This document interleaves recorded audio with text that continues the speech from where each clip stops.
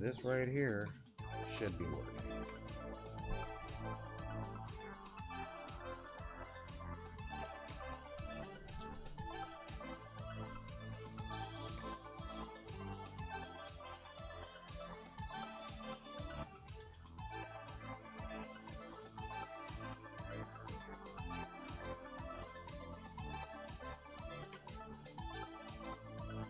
Welcome, welcome, welcome. All right, here we go. How you guys doing out there? We had a few technical difficulties and stuff like that. And ooh, yeah, that's ugly. Hang on. Ooh.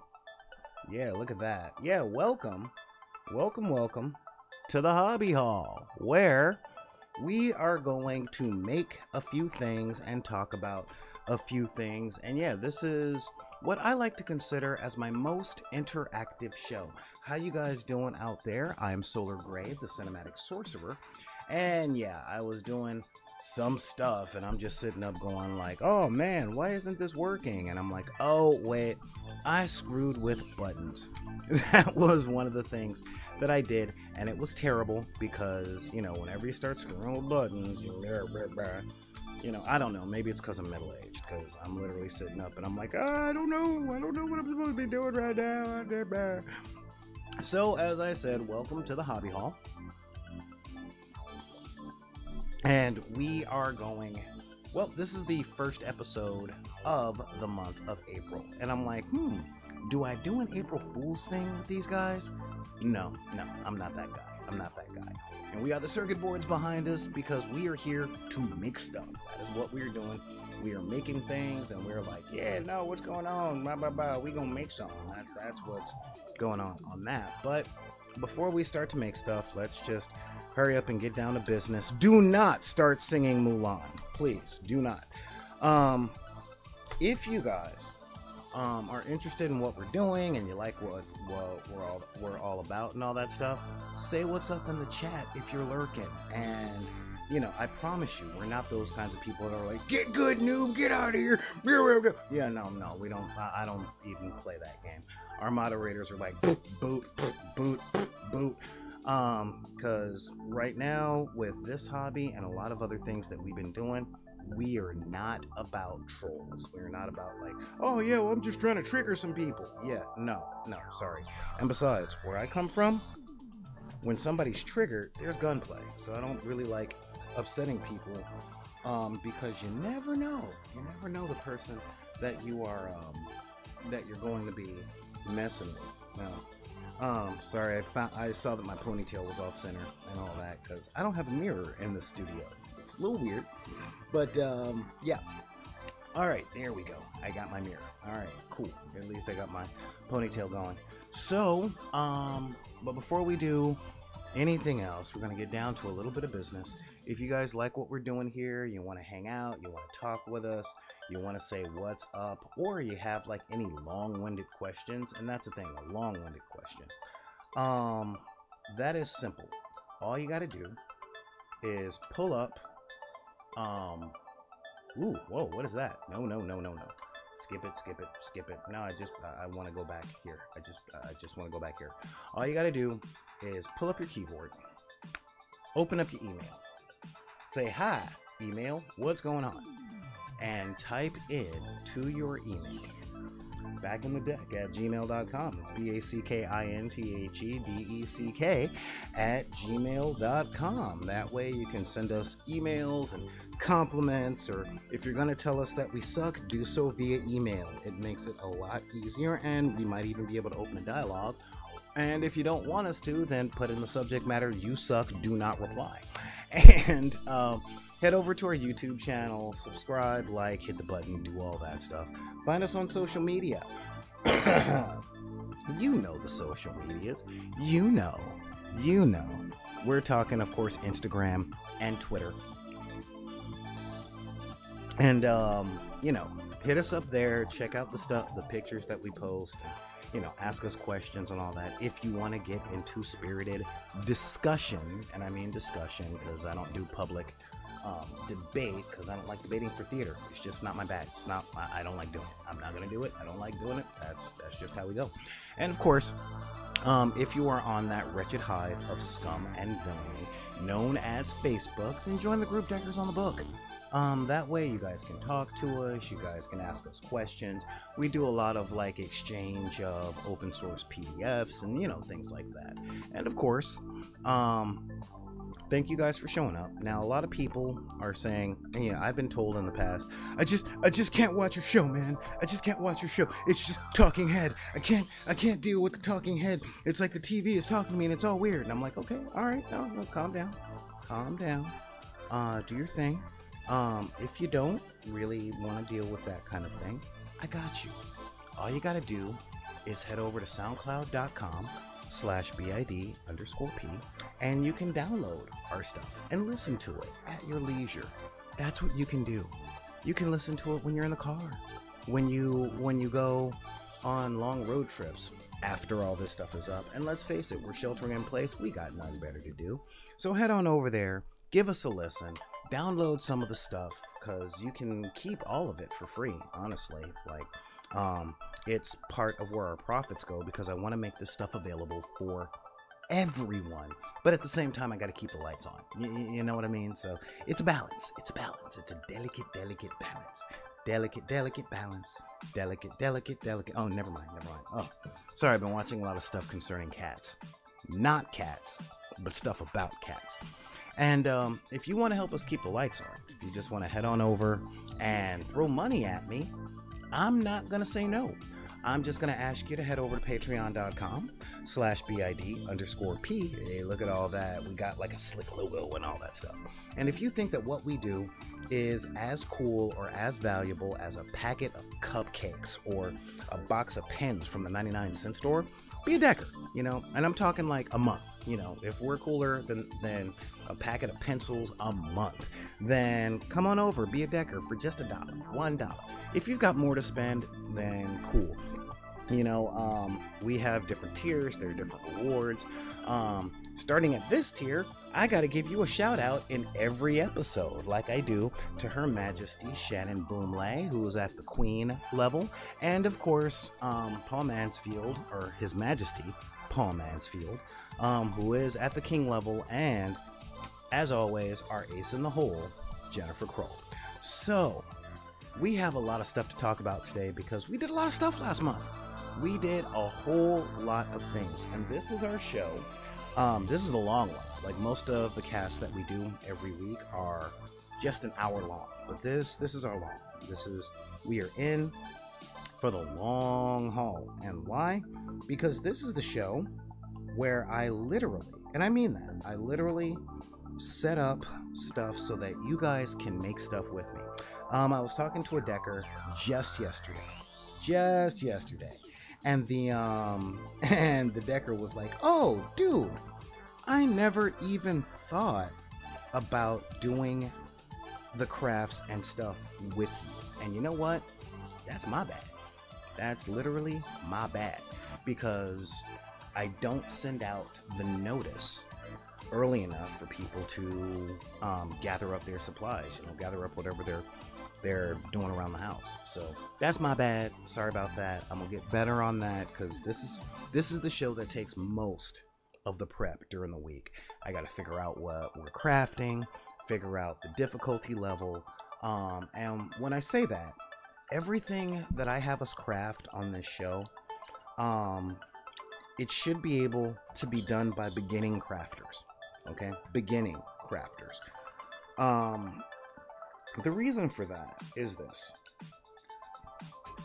I have a mom.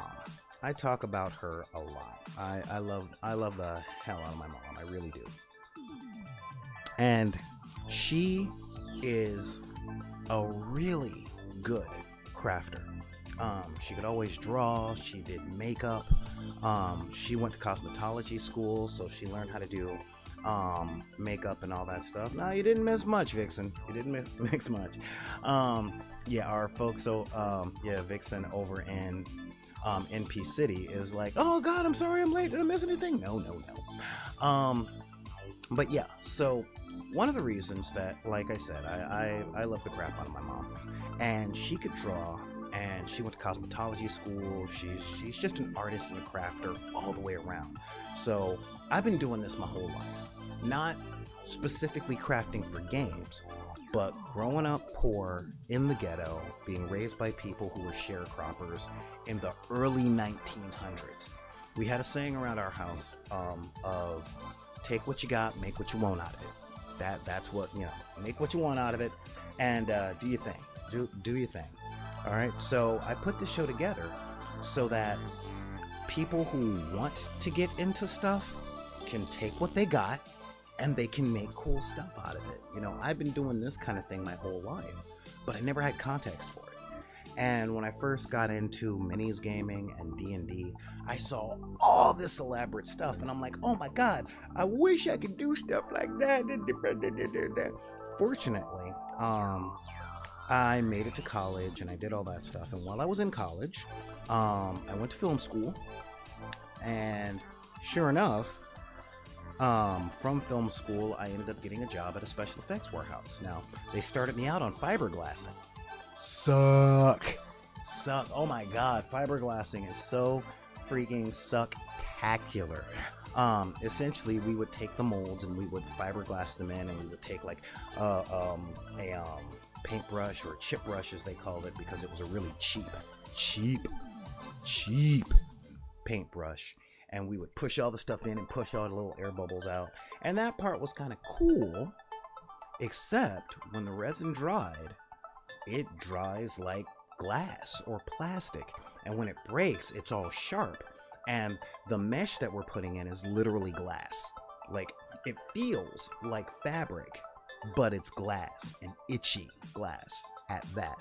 And then when we'd have to sand stuff down, we'd be throwing particles of glass all over the place. And you know this is why we we would have to wear respirators and stuff because that will kill you relatively quickly. Um, and by that i mean like over the course of 10 years like cancer is is a thing. So whenever someone's doing your home insulation you thank them. Anyway um so i learned about a lot of that stuff but everybody that was around me grew up middle class and they were like they had train sets and they put cars and stuff together and they just couldn't wrap their head around the fact that that wasn't me. You know, in the words of Creedence, I ain't no millionaire, son. It ain't me. It ain't me. You know, that that's not what I did. So, um, you know, and of course I ended up losing the job because I wasn't very good at it um, and I couldn't get training on it. Okay? and that was a big thing. But over the years, you know, I've developed my crafting and stuff, and I'm not great. I'm really not. But I make the stuff I want to make. and um and the thing is, this stuff isn't hard. Sometimes it's tedious, but it's not difficult. Okay? Um and for all of us that are on shelter in place and remain indoors. um yeah, for all of us that are doing that kind of thing. I get it. I, I get that it's a thing. Um, so what do we do when we're in? And I'm like, this is the perfect time to do crafting, especially if people have to go out and make supply runs. Um, there is a lot of stuff that isn't being hoarded that's really inexpensive that we can do this stuff with. Example, these paints are like a buck and a quarter if you can find a fabric store that's open. Um, excuse me, craft paint, super easy. If you have a local big box store that sells them, then you're in some serious, serious luck because a big box store is like Home Depot, Lowe's. That's what we have here in Southern California. I don't know if there's any other places. Um, and of course, I use a lot of extruded polystyrene, okay, um, known as XPS, and in the in the special effects industry, death foam. And this stuff is great for crafting, but it's illegal to sell in enough. It, it's home insulation, but it's really sold in places that get snow. And we don't get snow here in Southern California. Um, we, we just don't. It, it, snow don't come here, you know. Um, I laughed growing up in South Central. It was such a terrible neighborhood that not even the weather would come over. So, um, but they do sell small amounts of this in like two foot by two foot by one inch um, sheets, and that's perfect for the scale of the stuff that we do here. Um, and if you don't have access to that, I love this stuff, and this is what we're gonna make today. This is like a couple of millimeters thick, but this is foam core. You can get this at the Dollar Tree, at um, most craft stores, um, Dollar Tree, 99 cent store. And if you're like me and you live either in the ghetto or ghetto adjacent, a lot of bodegas sell this stuff for a buck.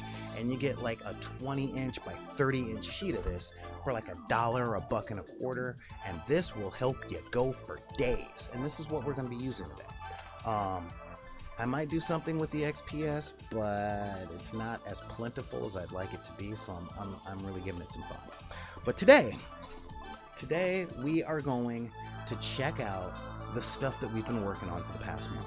Now, for the past month, we've been making dungeon tiles, walls, um, doorways, and stuff like that for your fantasy settings. But you might be asking, okay, well, we're making all this stuff, but what is it good for? You know, and the answer is dioramas. Um, I have a friend with the coolest name I have ever heard in my okay, one of the coolest names. I have a lot of friends with a lot of cool names. I have a friend who whose mama named him Rock, and his last name is awesome. And I'm not gonna say it because this is a public platform. Um, and of course, I have um, I have another friend who um, who is named Stony. I'm like, I have a friend named Stony, and this is awesome.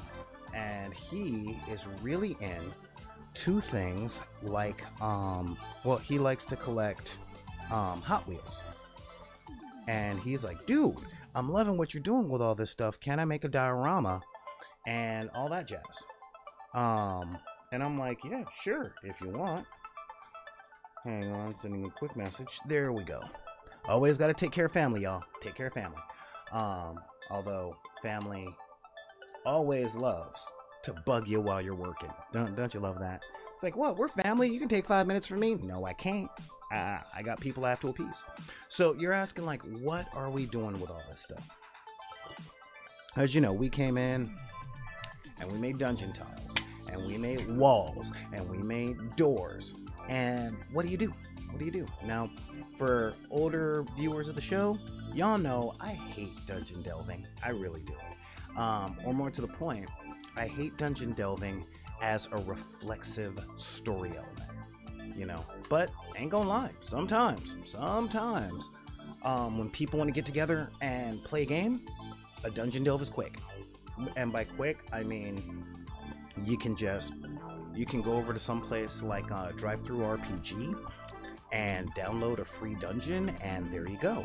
Um, yeah, I mean, it, it's there. Or um, it's real simple. You come up with some sort of labyrinth, some kind of maze, and um, yeah, hang on. I'm doing this right now. There we go. Yes, a dungeon. Now, doo -doo -doo yeah, let me show you what I'm doing here. I'm over at uh, RPG. I'm pulling out a dungeon. Price zero. That's my second favorite price. And look at this dungeon tiles that you can download. Um, ah, yeah, castle map collection, free. Um, D&D conversion manuals from second edition to third, free. Character sheet, free. Um, oh, Barkhad's Tomb, yoink. Um, yeah, and of course, you know, stuff from Emerald Giant Games, dungeon crawler names, um, tavern collection, just you know, um, and that's just one resource online to pull a dungeon from. So, given that we're on lockdown, and I'm running a lot of games online right now, So I'm like, all right, do I pull out a dungeon or two? Well, I may as well. I may as well just be like, hey, boom, dungeon finished. now let's let let's play. Um, and a lot of dungeons can be a lot like a board game or a video game because let's face it, Doom, Wolfenstein, um, um, most first-person shooters either have a dungeon crawl level or is just um, a really big extrapolated dungeon. And if you don't believe me, you tell me why is there a sewer level in LA Noire? no, I don't play video games, but I watch a lot on YouTube. Anyway, um so it's like we've put together all these things and if and I mean this, um if you guys have put together a lot of this stuff in the same way as I have, okay? Um I want to show you guys the things that we have come up with okay? Because we've been doing a lot. So over the past two months, um, some of our shows have been about. Let's make some of these, huh? Bridges, yay! Bridges for miniatures games, and you know, doorways and dungeon tiles and stuff. I'm gonna need that. Uh, yeah. So, you know, what does all this stuff look like once it's all the way up? Well, let's take a look. Oh, yeah. Look at what we got here. You know, these are all things based on. Now, I made a couple of corrections. As you can see here, these are the walls right here. These are the walls that we made. And I'm like, yeah, but when I put them together and I put the figures next to them, I wasn't happy. I wasn't happy because it was really hard to get in there, really hard to plug it out. So I did I did the logical thing.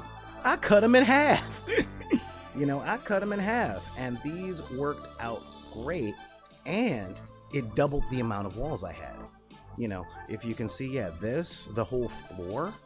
You know, we did that in like our second or third episode, and that literally the floor up to here. So all of this floor, that's one piece, just one piece of the foam core. That was it. One piece of foam core. Using these techniques, it took me a night. And the longest part about that night was waiting for the black bomb to dry.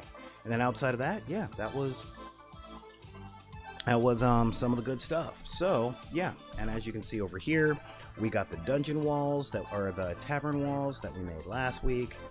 You know, um, yeah, we got a big rock formation from when I first started, and I didn't have a foam cutter. Um, you know, some of the tables and stuff. You know, yeah, we got Wonder Man and the Huntress down here walking through a dungeon.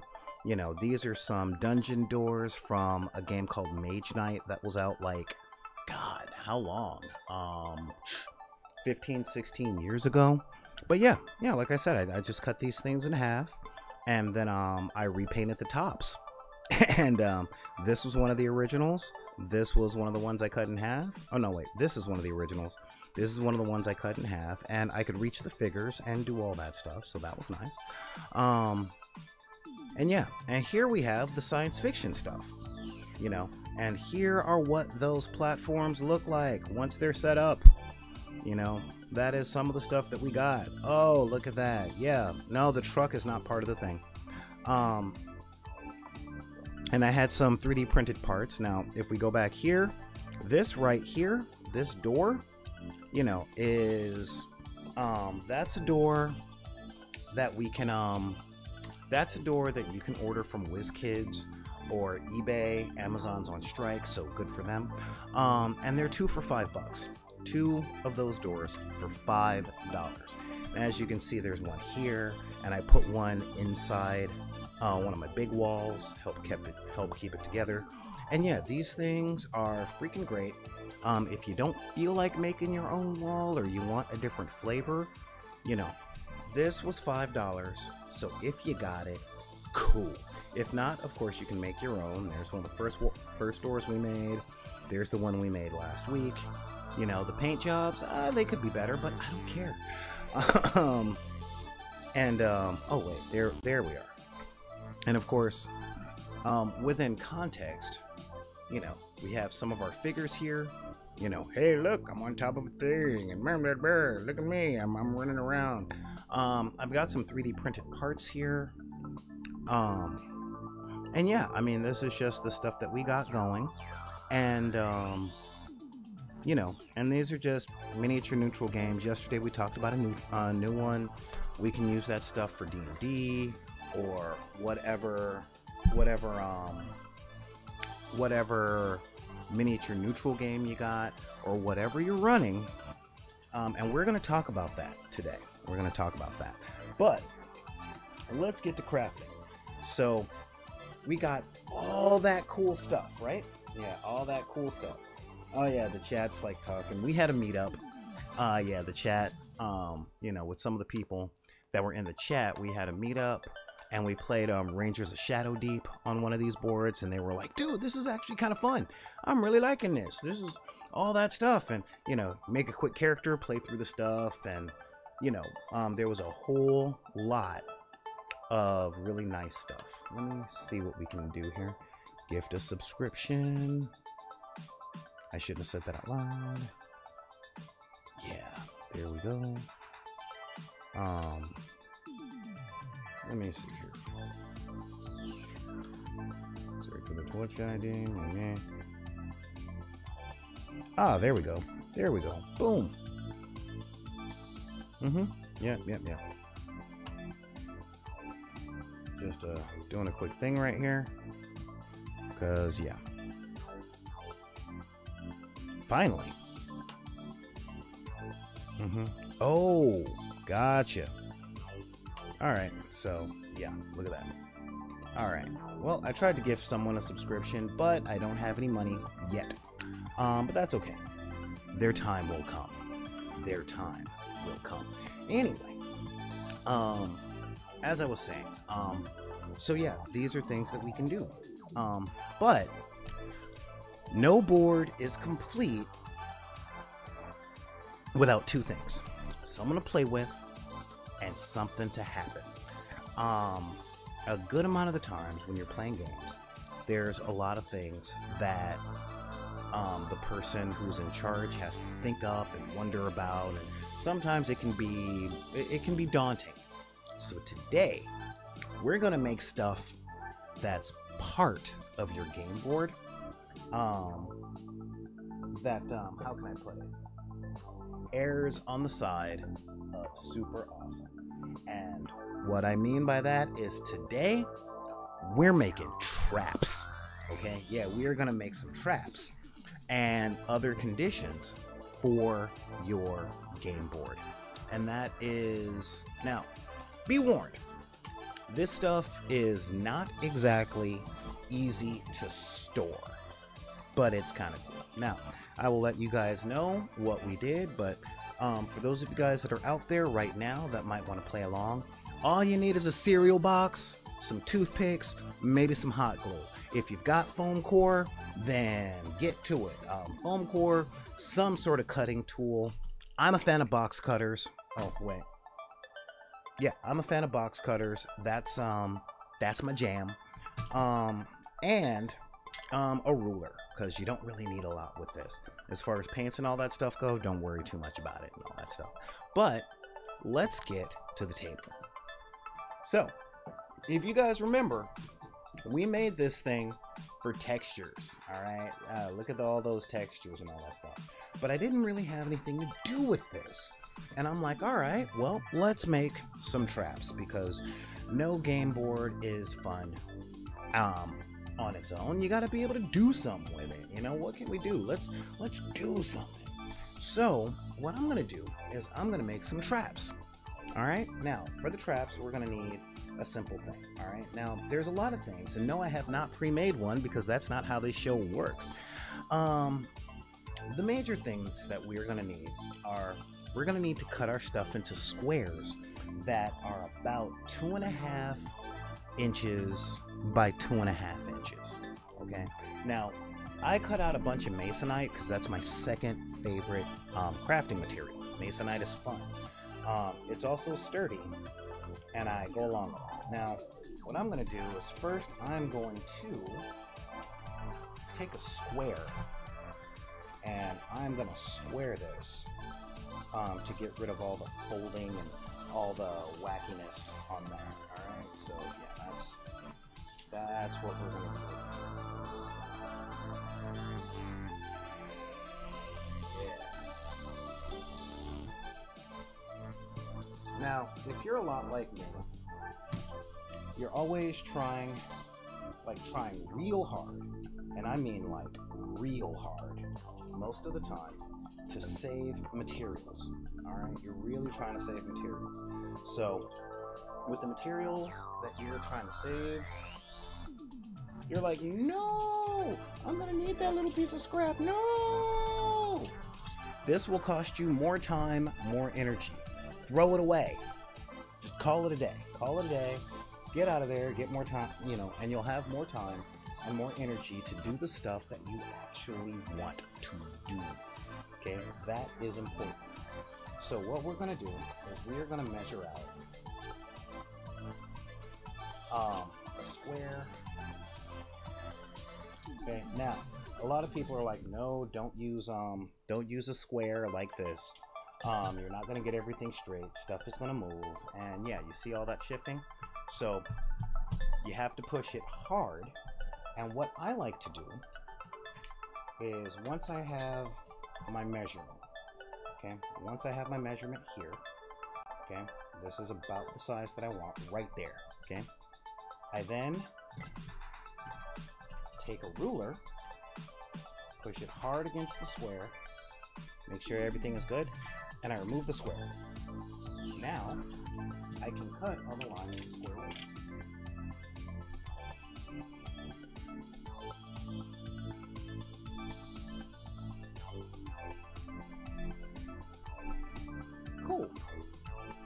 Okay.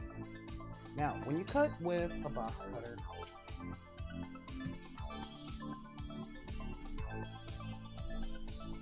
you are going to get something called blade drift. And that is a thing that will make it so that your blade is going to go to one direction or another. And honestly, it's it's kind of irritating, but don't worry about it. This is about getting the job done. Being perfect, but getting the job done. Okay? And we're just going to measure out two and a half. And why two and a half? You guys are asking me that question, right?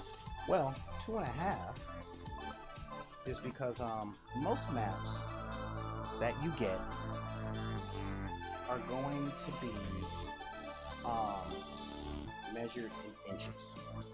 Okay? I can't stand that. I can't stand things that are measured in inches. And one of the reasons, see, this is why I have the piece of masonite so that you guys can see my hands. Um, one of the reasons that I don't like stuff that's measured in inches is because most of the bases for a mini is the better part of an inch. Alright? And I will show you the complication with that in just a sec. Good. Okay, we got a couple. We're to cut out a few more, but I wanted to show you guys this. So we've got um,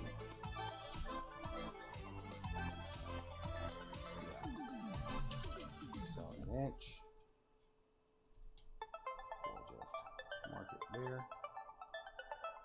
One inch by one inch. Cool. Okay, so marked and cut. Of course, this is a scrap piece. There we go. Cool. Okay. Yep, that's about inch. Not perfect, not square, don't care. What we have here is this is a one inch square. Okay. Now it fits a mini pretty cool. Let's uh, get a little closer. See, it'll fit a mini pretty cool, right? I mean, you got this, and you see the base of the mini. That's it. See the base of the mini, but you see there's no room, okay? So if you want to put a wall there, then it pushes and there's no room for the mini. Don't like that. I've never liked that. It makes the rooms a little smaller. So I cut my stuff via um, one of my favorite crafting YouTubers, Wyloch's Armory. And he cuts his stuff to an inch and a quarter. And that way, there's room for little additions of things. Like, um, yeah, inch and a quarter, right there.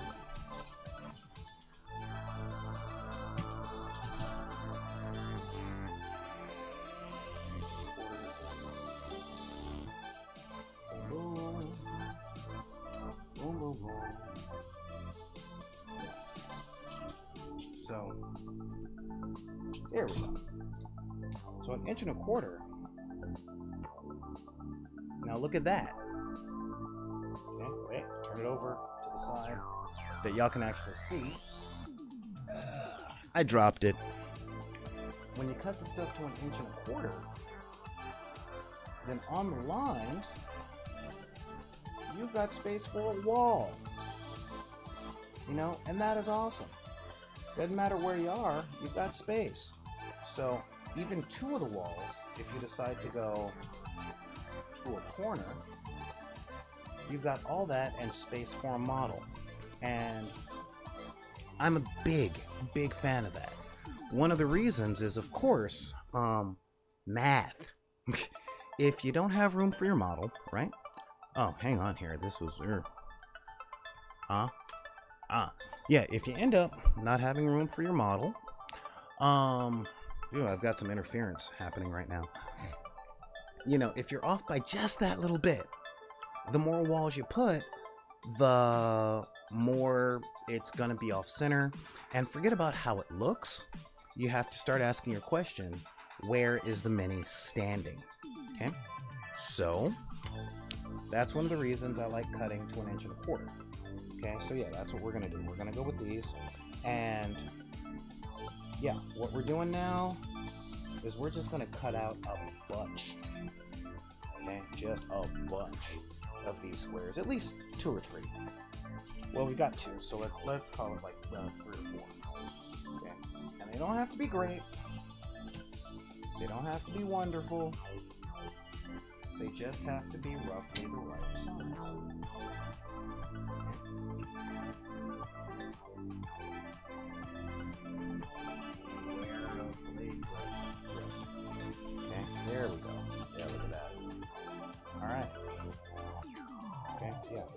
Um, again, ain't gotta be great, ain't gotta be wonderful.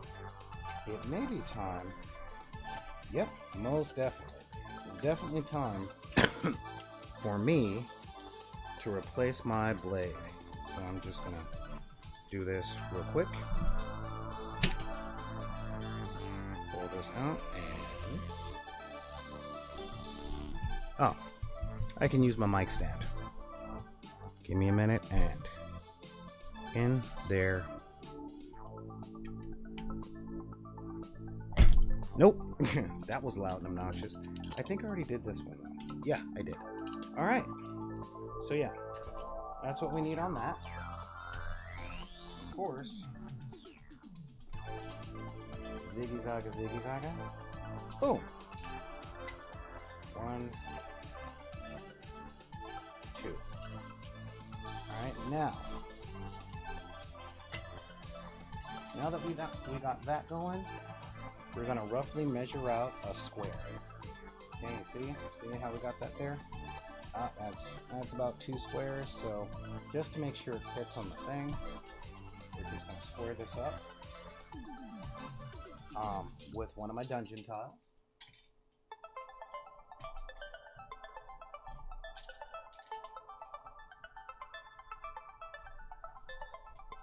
There we Up over here. Yeah, there we go. Cool. Now you see all that weird, wacky, messed up stuff right there? Don't worry. This adds to texture. There is no such thing as doing this wrong. Okay? Except for, you know, not getting the measurements right. So here we go. we're just going to use this line as our measuring piece.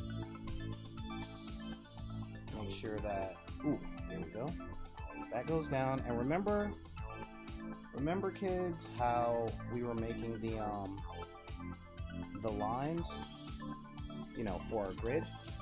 Now again, you don't have to go grid, but just to get there, we're just gonna cut a little bit down, a little bit down, and then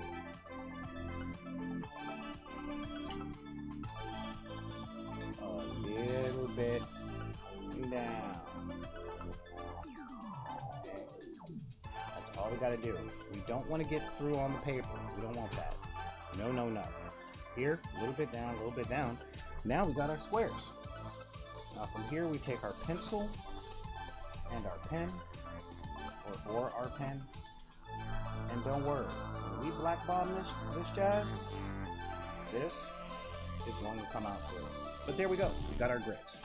Now you see this really messed up one? This is what's important, okay? When you are making dungeon stuff, understand that um each uh if you're playing like a standard Dungeons and Dragons type game, you got to understand that each um each tile or not each tile, but each um each space on the dungeon tile, each of these um little things are about yeah, I cut these a little too large. Um, each of the dungeon tile spaces is about, and I'm saying roughly, five feet. Okay, so that is a really, really big trap. Okay, and um, so that's a real thing. All right. Um, so I'm saying this to illustrate how each trap, okay, each trap in a game is roughly a square. One singular square. And you might be asking, but Solar, if it's only one square, then why are you making four? Are we going to make four traps at a time? No, we are not going to make four traps at a time. Um, but what we are going to do is we are going hang on. I'm having this conversation with you while making all of um, um while making the other cuts for the other um, traps. We're gonna we're gonna put together about four traps today? And I don't mean like the music. Yeah, no, no, but yeah, I'm putting all that down. And um, yeah, I really like having one of these yellow squares. Um, makes the job so much easier. Um, now, if you guys are out there and you're like me, and you play HeroClix a lot, you might have some maps whose um, grids are drawn on, and they're already an inch and a half. And that's cool. All you have to remember is the scaling. One square, five foot, moving on. Okay? Um, but why aren't we making these one square wide? I will tell you. I've been trying to make stuff like this for years. For years. Okay? And I've made lots of different traps, different conditions, especially for games like HeroClix and Rangers of Shadow Deep and um, Dungeons and Dragons, where it's like you can materialize a five foot uh, a five foot pool of water. You can do a five foot fish. You can do a five foot bag. You can do a one square this. But essentially, um, so I would make stuff that would be exactly that one square. And you know what happens to me unfailingly? I lose them. And I can't stand that. I can't stand losing them. Um, just like a freaking Sting song. I can't, I can't, I can't stand losing. Um, so I'm gonna let you guys catch up with me and just make four of them. Just just make four of these things real quick, and um, I will give you guys the slideshow um, to give you guys like some inspiration. Hey, pub, what's going on? Um, Impossible's like I've been here the whole time. Um, but yeah, and um, I gotta grab um, a thing really quickly because um, yeah, I just want to make sure that I can do the cool thing. Okay, I'll be right back.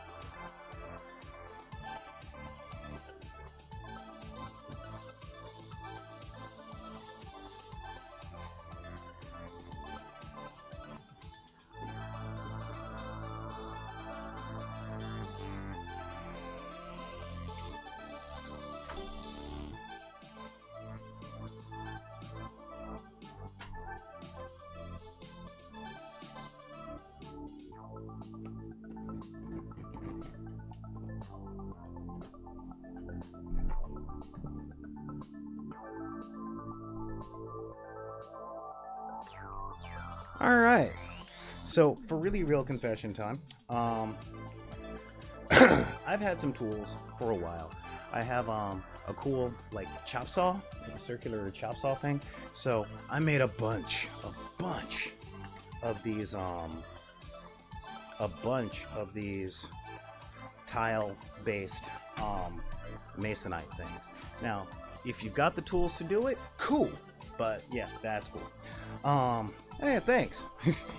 Chat's like, pictures look great. So, what are we gonna do? Well, this is where we start getting creative and having fun. Okay. Um,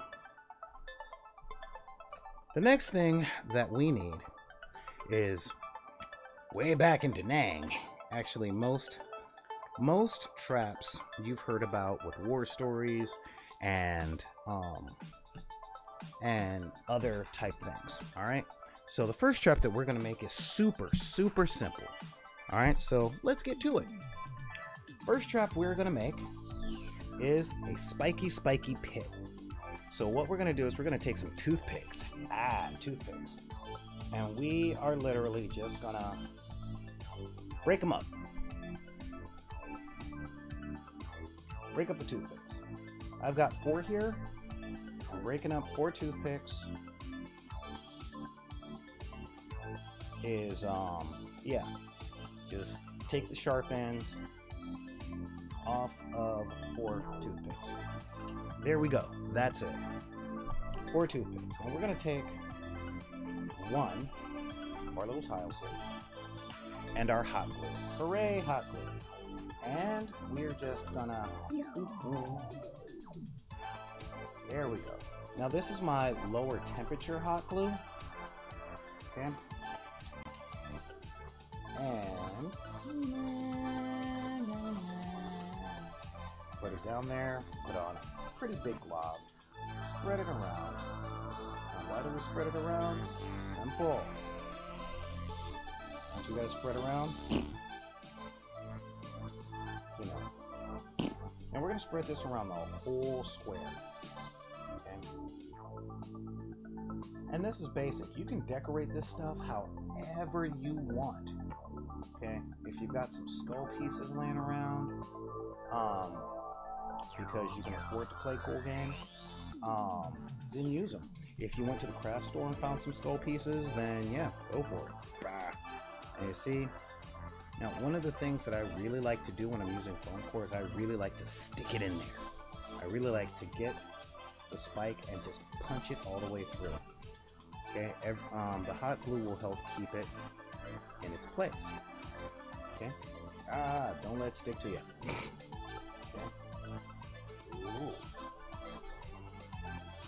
Other crafters watch this show, they're gonna be like, oh my god, he's got terrible, terrible hot glue discipline. And I do. Okay. There we go. Oh yeah. So there we go. It's in there. Now these are pretty long. Okay. Um, I like I like to make them long just so that I can show, hey, this is dangerous. And then what we do once we get in there is we just glob that hot glue in there. You know, give it something to stick to. Um, need another stick. Another stick of hot glue. There we go.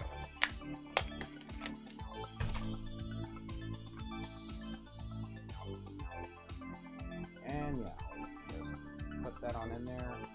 Make sure that the glue has a good place to go. This is an old cheap hot glue gun. So it's got some issues. Get it in there. Now, one thing about using hot glue that I don't want to tell some people for a while is beware. Beware of using a lot of hot glue if you are lazy. Okay. And I ain't trying to put anybody on blast, you know, but I I will tell my experience. I made a bunch of stuff um, from the games, and I used hot glue as one of the main binders. Okay, and a funny thing happened when I did that. Um, I ended up leaving my gaming stuff in the car, and the hot day came. And I'm just like, oh well, you know, it's a thing, and blah blah blah. So, um, a friend came over, and I'm like, oh yeah, let me show you some of the stuff I've been working on on one of my shows. And I pulled out everything, and it just fell apart. The hot glue did not hold. Okay, yeah, it just it, it didn't hold. And I'm just like, wow, the hot glue did not hold together, and that was kind of sucky. So yeah, so I'm just pulling out these strands of hot glue. But that's it. There's your spike trap. Okay. Now, since I do a lot of hot gluing, um, and I've got these things, I'm just gonna wipe this around here. Yeah, look at that. Look at that. This is my bag, baby. Okay. Um, because what I'm gonna do is I am going to secure this to something solid. Okay? There we go. Now, remember that thing? Yeah, just wipe it around, get it down there, get it in there. Now, you can do this, if you've got the materials, you can do this before you start hot gluing your spikes on. Yeah, but this is a real simple thing. Alright? And you might be wondering why we have that other piece. We'll show you when the time. Okay? There we go. Now we're just going to stick these spiky things on top of this. Stick it in there. And the best part is that since it's a trap, this is going to be a temporary tile. Okay? Um, the tough part is it's got these sharp bits, and these sharp bits will probably break off in time. But see, as you can see, since we used a little piece there, it's all textured and all that stuff. But uh, we are going to retexture it and give it some more strength. Um, once we um, put on our black bomb. But yeah, so here we go. This is our tile. It's there.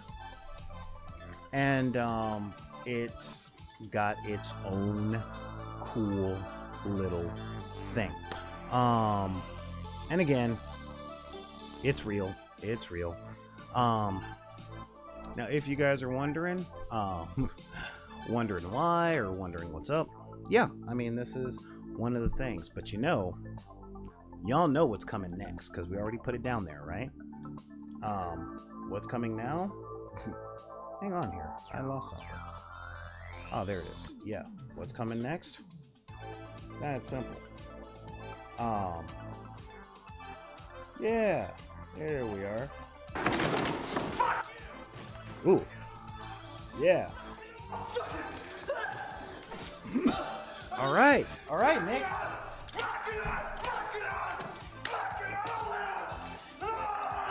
All right. All right. Cool. I'll do that. I'll do that. So yeah. So now it's time for us to grab the black bomb. All right. Yeah. That's what we got. Woo boy. Yeah. That was that. That's what we got. I swear, you you have one guest star in the studio. And again, oh look at that. Yeah. And for you guys that are new to the show, the black bomb is really simple. Yeah, it's really simple. It's um, white glue, like Elmer's glue, um, and black paint. That's it. And the reasons that I use this a lot, uh, we have a brush. We got our cheap little brushes. Um, yeah, the reason I use this a lot is this adds a lot of strength um, to the materials. Okay. Now, if you don't have the black paint on it, that's fine. That's fine. That's the thing. If you've got Elmer's glue, be liberal. Be super, super liberal. I mean, just slop it all in there. You know, slop the stuff in there. Put the black bomb on. All right. Yeah. Get the black bomb on. Um, get the paint in there. Now, one of the reasons that I do this with the paint, and a lot of crafters do this, I learned this off of YouTube from Wyloch's Armory and DM Scotty and Black Magic Craft, like so many people do it, um, is because the black paint will generally let you know if you missed a spot. Okay, so we use this a lot. And second, it acts as a base coat um, for the piece. Okay, a base coat and a primer. So it starts black blacker than the blackest black times infinity. Okay, so we black out the whole thing. Um, and the glue is really good at holding your paint. Okay, so it, it does three things. It gives it strength and rigidity. Um, it creates a protective barrier and your first coat of paint is already done. Alright, and I am a big fan of working efficiently. You know, again, everything we do on this show is a speed build. Um, and by speed build, I mean I don't really want to tie up your day for like three and a half hours, especially like yeah, I'm taking advantage of the global pandemic because I know you guys are home and if you're watching, you probably ain't got nothing better to do today. And I'm with that. I just, I'm, I'm trying to give you guys something to do. Okay? And there we go. Look at that. That is in there. Okay? Boom. That's in there. Now we're to paint up these spikes. Okay? And the reason that we paint them up is because, yeah, they're toothpicks, right? Um, but do the spikes have to be wood in your game? Uh, I like metal spikes. You know, I'm a big fan of metal spikes. So yeah, so there we go. Look at that. Look at that. My, my, my, my, my, my. Yep, yep, yep. That's in there. And now, that's it. That's done. Look, boom, boom. Oh wait, see, see? I missed a couple of spots. That's fine, and that's why the black paint is in there. Because I'm patient about a lot of things, just I'm not very patient with the things I make. So it is very much a do as I say, not as I do thing. Like this, okay? I'm telling you guys to be patient or be more patient because I get it. And there we go. So now we just put this away and we work on a different trap. Okay. Now the next trap, um, the next trap is kind of funny. Um, because what are the different types of traps that your people can get into. All right. Um, one of the things I love in traps, okay, are portals. Okay, I love the idea of um of hey, guess what? you step through the trap, and now you're going through a portal. So we're going to take a scrap piece, just a scrap piece of, of the foam, okay? And we are going to measure diagonally. Diagonally across one of the um, things. Boom, boom. And we're just going to make little things. There. And now, we're going to draw a door. Just draw it. It ain't got to be that, that complicated. Okay? Now, you see how these things aren't even? That's fine. Brrr. Cool. Yeah, there we go. Look at that. Okay? And now we're just going to cut along those lines. Just cut along the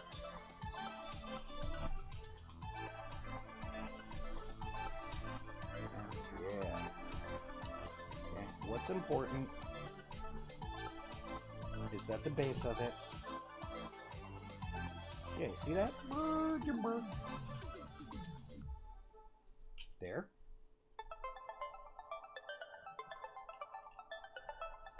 There. And now we're just going to give a little character. Now we're going to take our hot glue gun, okay? And we are going to spiral. Spiral the thing out. Spiral. Our hot glue, notice I'm not putting any hot glue on it. I'm just drawing little circles. Okay?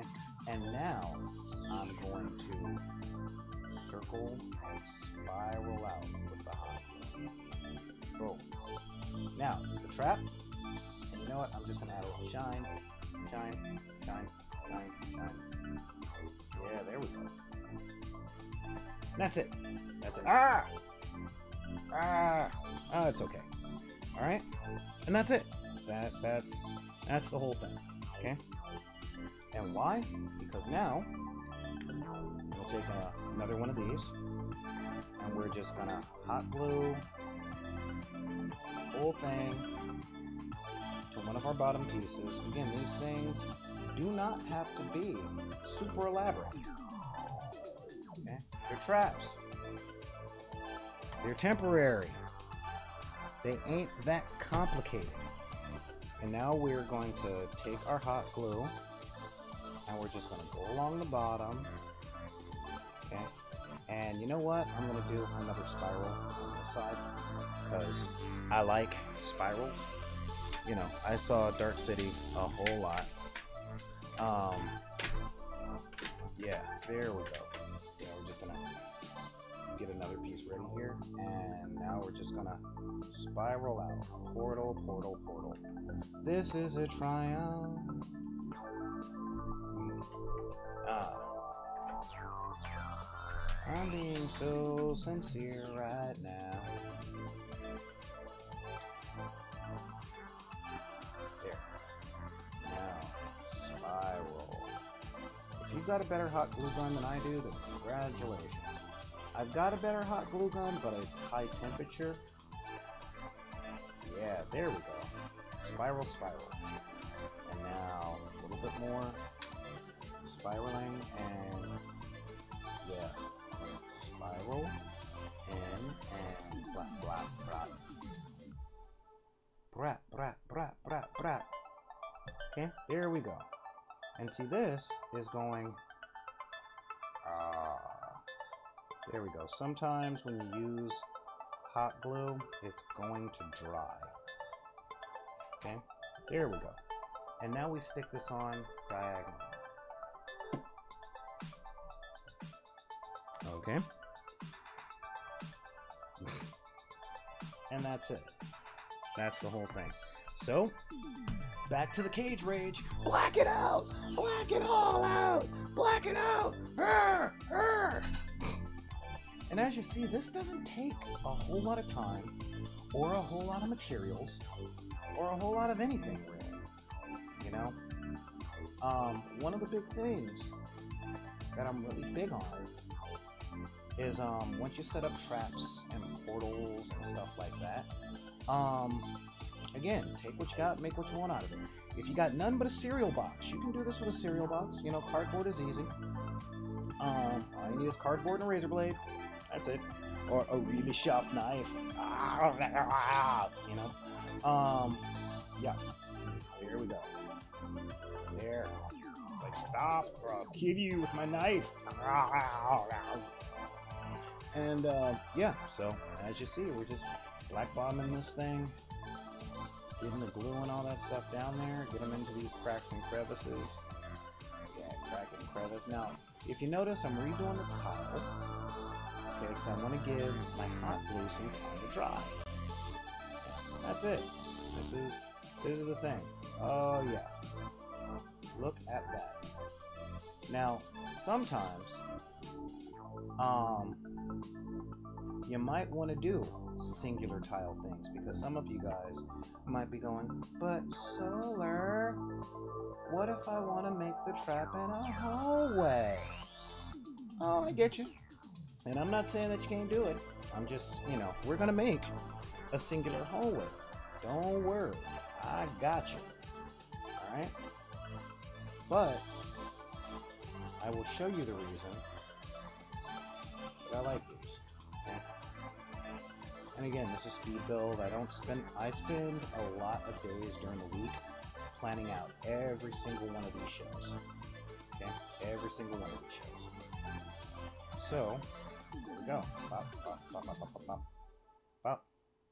Now, if you guys are noticing with this technique, um, there is one thing that you guys can put together using this technique, especially with the foam core and the glue, and we're not going to get into that um, on a show proper, okay?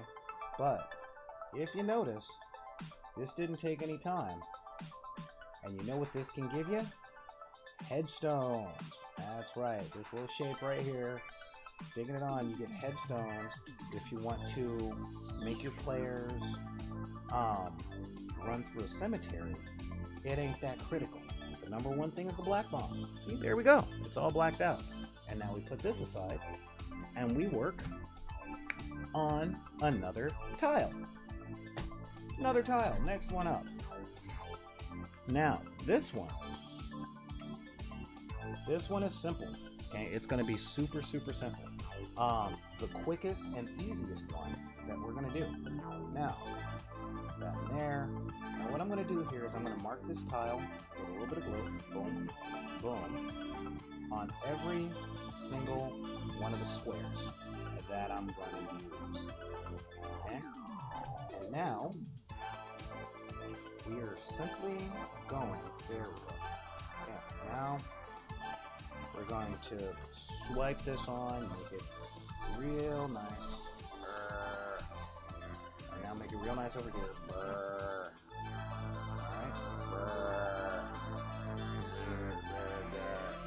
Alright. And now!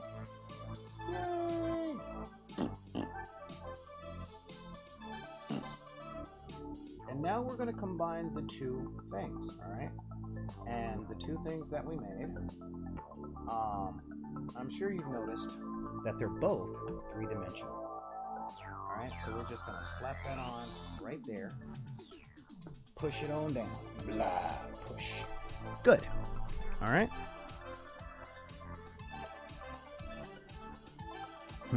what? Get into the crevices if you want to live. uh, get into the crevice if you want to live. That's right.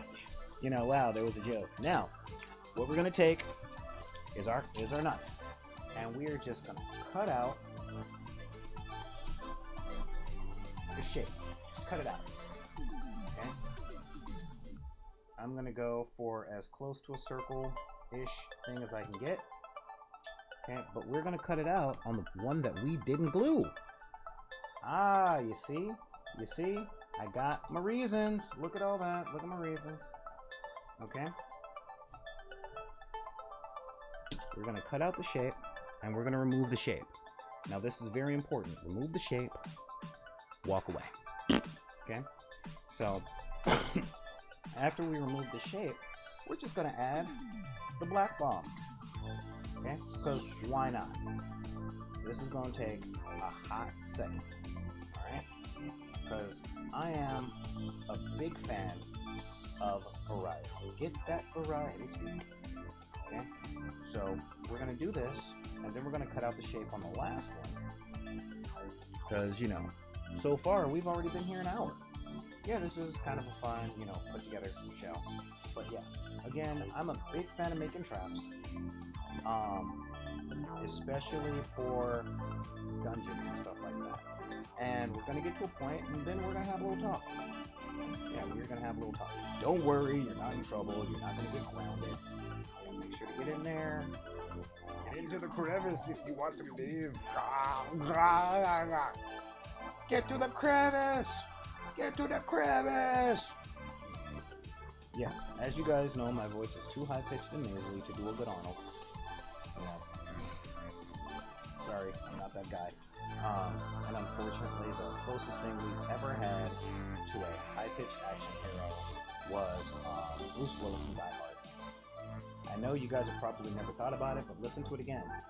Then the kids get together and have few laughs. You know, and I was growing up, I always wanted my voice to be like closer to Liam Neeson. You know, and I mean that. I'm serious. I I, I was on the Liam Neeson train all the way back at Dark Darkman. You know, because he's like, ah, I'm a monster. Ah, ah, take the elephant. Take the freaking elephant. Ah. Okay. So yeah, see what I'm doing here? Marking out three, three little things. Now we're gonna make the shape. Okay, now traps come in two major flavors, guys. Two major flavors. Flavor one, external traps.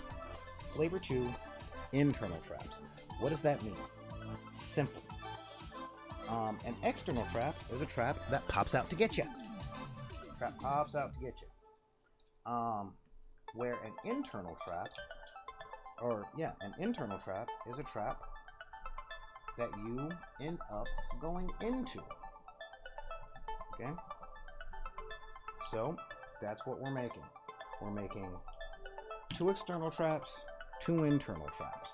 And it doesn't matter what the trap is. Okay? It doesn't matter what the trap is. The question is when you're caught in the trap, do you step into the trap? Or is the trap triggered by something and come after you? Okay, that's a big thing. Uh, one of my favorite traps, my absolute favorite traps, are mimics. Um, I watched a thing on YouTube earlier today that used mimics in ways that I love using them. But yeah, um, you know, once the mimic is awake, and for those of you guys that don't play things like Dungeons and Dragons, you've seen mimics on Dark Souls, where it's like, hey, that's a that's a cage. I have to free that person. Oh my god, the cage came alive and ate me. Or, all right, we're just gonna go right through this door, and oh my god, the door came alive and ate me. And um, oh, cool, we got treasure. Oh my god, the treasure chest came alive and ate me. Essentially, a mimic is an inanimate object that comes to life and eats you. There's an old joke um, from D&D players. It's like, yeah, sitting in the tavern, you know, and I was telling um, I was telling the bartender, you know, about the adventure, and then we got attacked by mimics, but that was okay because we got a land. They don't chase us. And you know, the bartender was like, "Ah, you're a good adventurer," and you know, he laughed, I laughed, the table laughed. It was a oh, good time to have. You know, yeah. And, you know, the idea of inanimate objects that have come to life to come and get you, I love. So yeah, we got this one with that guy and that guy. Um, with that guy. As you can see, we're just waiting for this stuff to dry. Is it dry? Yeah, no. Exactly. I'm just going to spread this out, and make it a little thinner. Okay. Most of the time you do black bomb, you want to wait overnight for this stuff to dry, but as you guys know, Elmer's glue is Elmer's glue. Now, I'm going to talk to you guys about that for a minute because I feel this is important. Um, when you are using. These things, um, the, um, for your black bomb, things like PVA glue, Elmer's glue, wood glue, um, those kinds of things, they are water soluble, which means once you start um, once you start using any water-based substance like acrylic paint, it's going to reactivate the glue, possibly. So you got to get in there and you got to do it quick. This is why with most things that are black bombed, um, with um, PVA glue, um, you end up having to um, dry brush. Okay. Now there are two ways around this that are super easy. One is to get some matte finish. Okay, matte finish in a spray can. Um, you get it from like an auto store or um, again your big box store like Home Depot, and you hold the can far away and you just cover the thing in a matte finish. You lose some detail, but once that um, but once that stuff dries, then it's pretty much waterproof. And the second way around it is a product called Mod Podge. Now, Mod Podge is interesting. I love the stuff. Um, it's kind of expensive. I mean, you get a tub of it, a little smaller than this thing, okay, for about eight dollars. All right, that that's that's yeah, yeah, that's a lot. Um, but here's what's awesome about it. It has a type of resin inside of it. So when it dries, it dries um it dries water salt it, it dries wa- waterproof. It literally gets waterproof and once your Mod Podge dries then you're good across the board with whatever it is that you put the Mod Podge on. So that right there is um is a really good thing. It's a really good thing. That's uh make sure that some of my stuff stays hydrated here. Yeah i just you know it gets really dry in here, which is why sometimes my nose runs. So I'm gonna do that. And uh, so yeah. So as we're waiting for that stuff to go, let's get back to the table.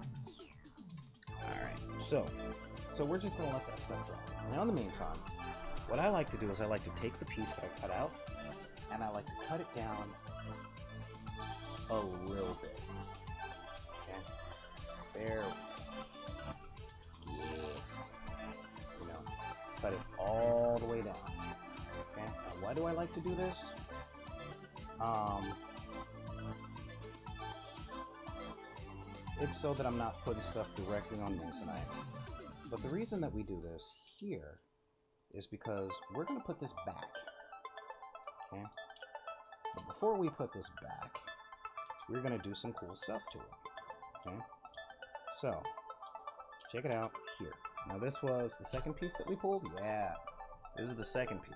So we're just going to pop that right back in. And you see, you see right there, um, we have a drop in the floor. So we are making an internal trap, and this is going to be awesome. You know what? Forget that. Sometimes you got to change your plans. Best laid plans of mice and men happen in a book. Now, we're just going to take hot glue and we are going to get in there. Okay. There we are.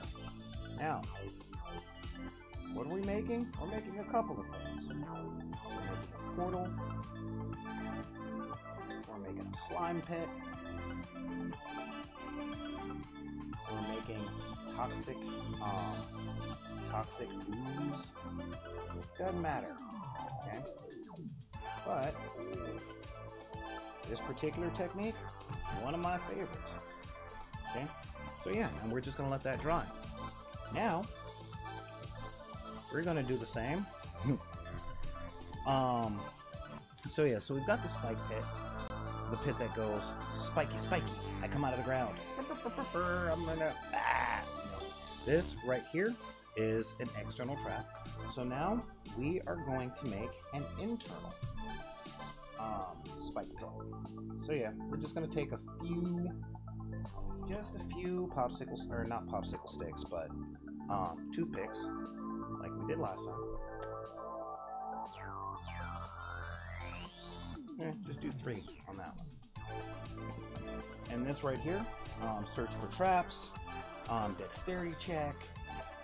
You know, you'll have um, so many players doing so many things. And um, yeah, so that's where we're at on that one.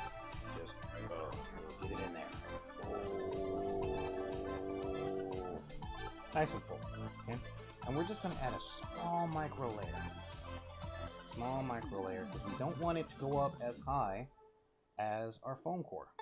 Okay? There we go. And now we're just going to add a little bit more in the places that we put our spikes.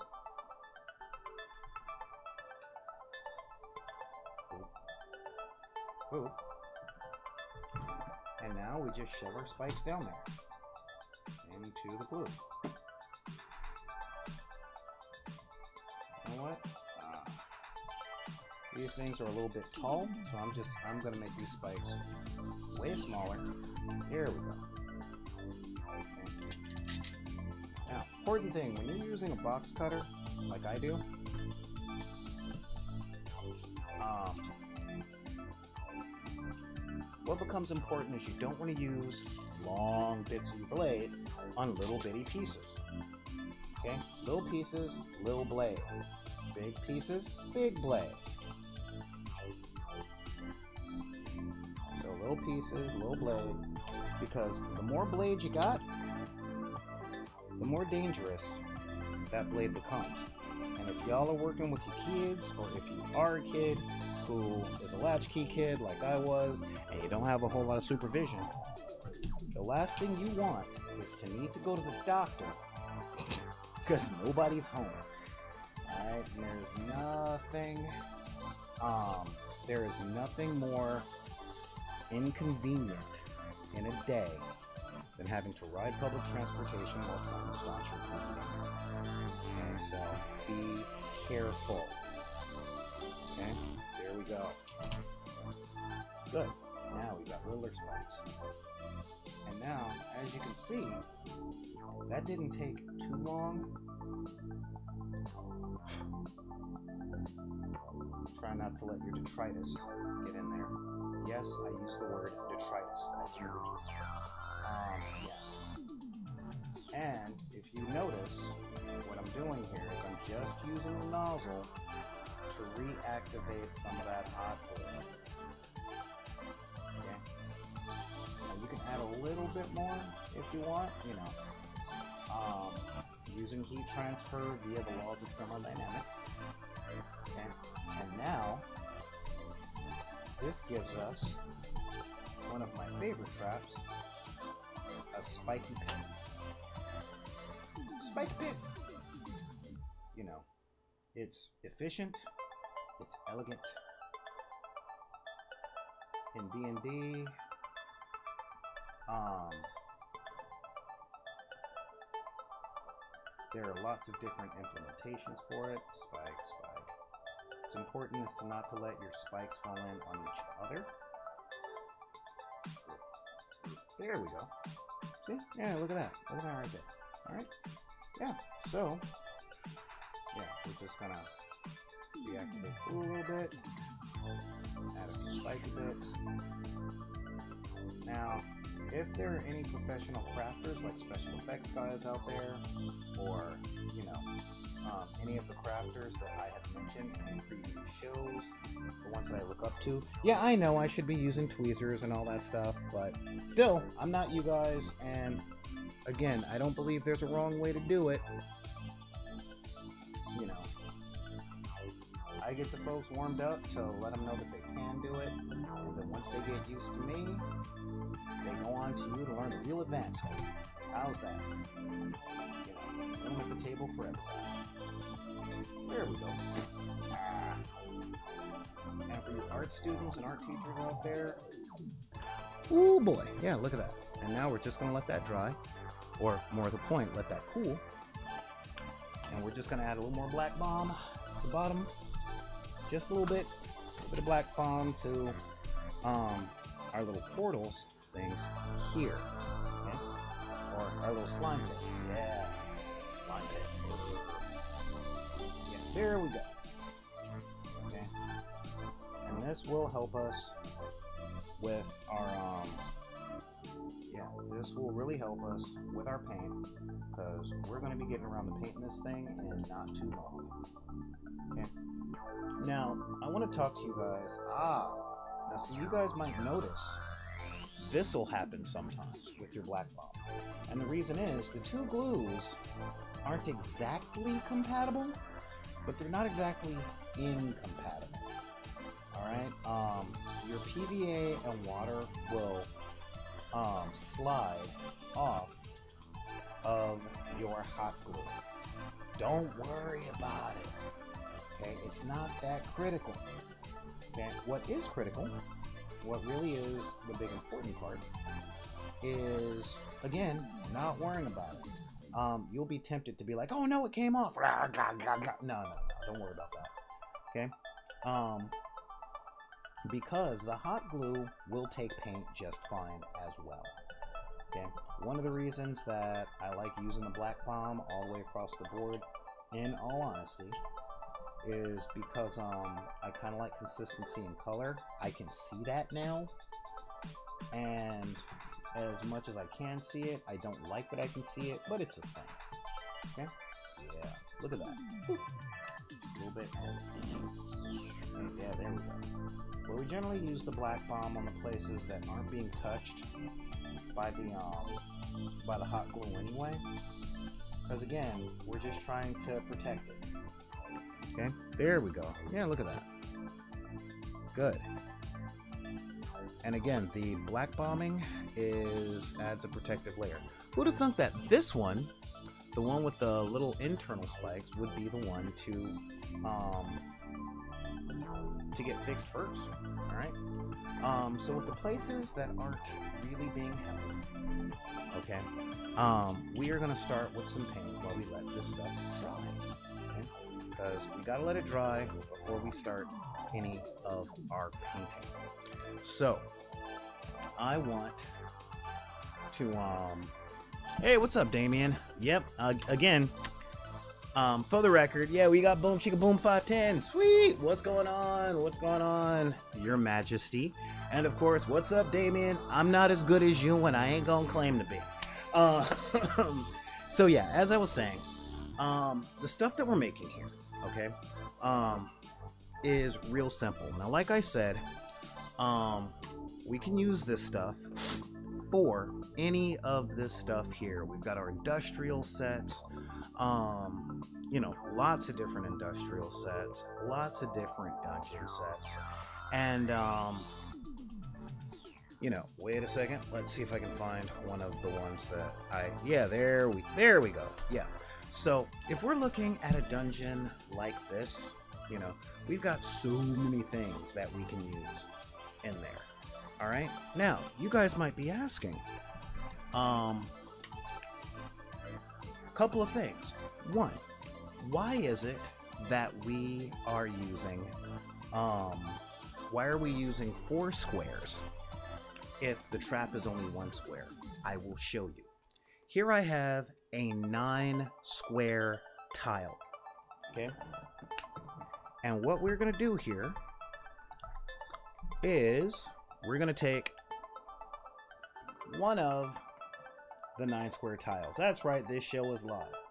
Okay, and now we're going to take our driest one and we're going to pop it in there. Now, our figures are on the trap or they're around here. And if it comes to any sort of placement that you have a problem with, turn it 90 degrees, it's in a different square. Turn it 90 degrees again, it's in a different square. Okay, this is one of the big reasons that we can do this. If this were only one square big, we would have to keep up with something this big. Keep up with it, fumble through our bags and stuff, and um, while we're fumbling through our bags, you know, um, we might find it, we might not, we might get stuck by it, blah! But we'll have an easier time finding this. Okay? Much easier time. Hey! This thing is ready for some paint. Sweet. Um, so I wanted to talk to you guys while I'm mixing my paints up here. I want to talk to you guys a bit about genre. Okay? Um, a lot of people ask me the question, um, if you like sci-fi so much, why do you do so much fantasy things? And I'm like, well, you gotta play the game that's available where you live. um, a lot of my friends don't like to do sci-fi. They love fantasy, they know fantasy, they're used to it. I'm like, okay, well the stuff transfers over.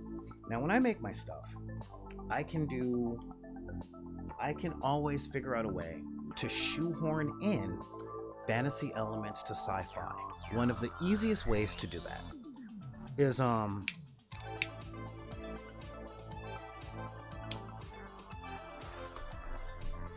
they land on a planet.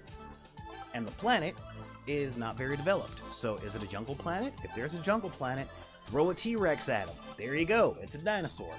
Um now, one of the big things, especially since um we're making traps and stuff for dungeons, right?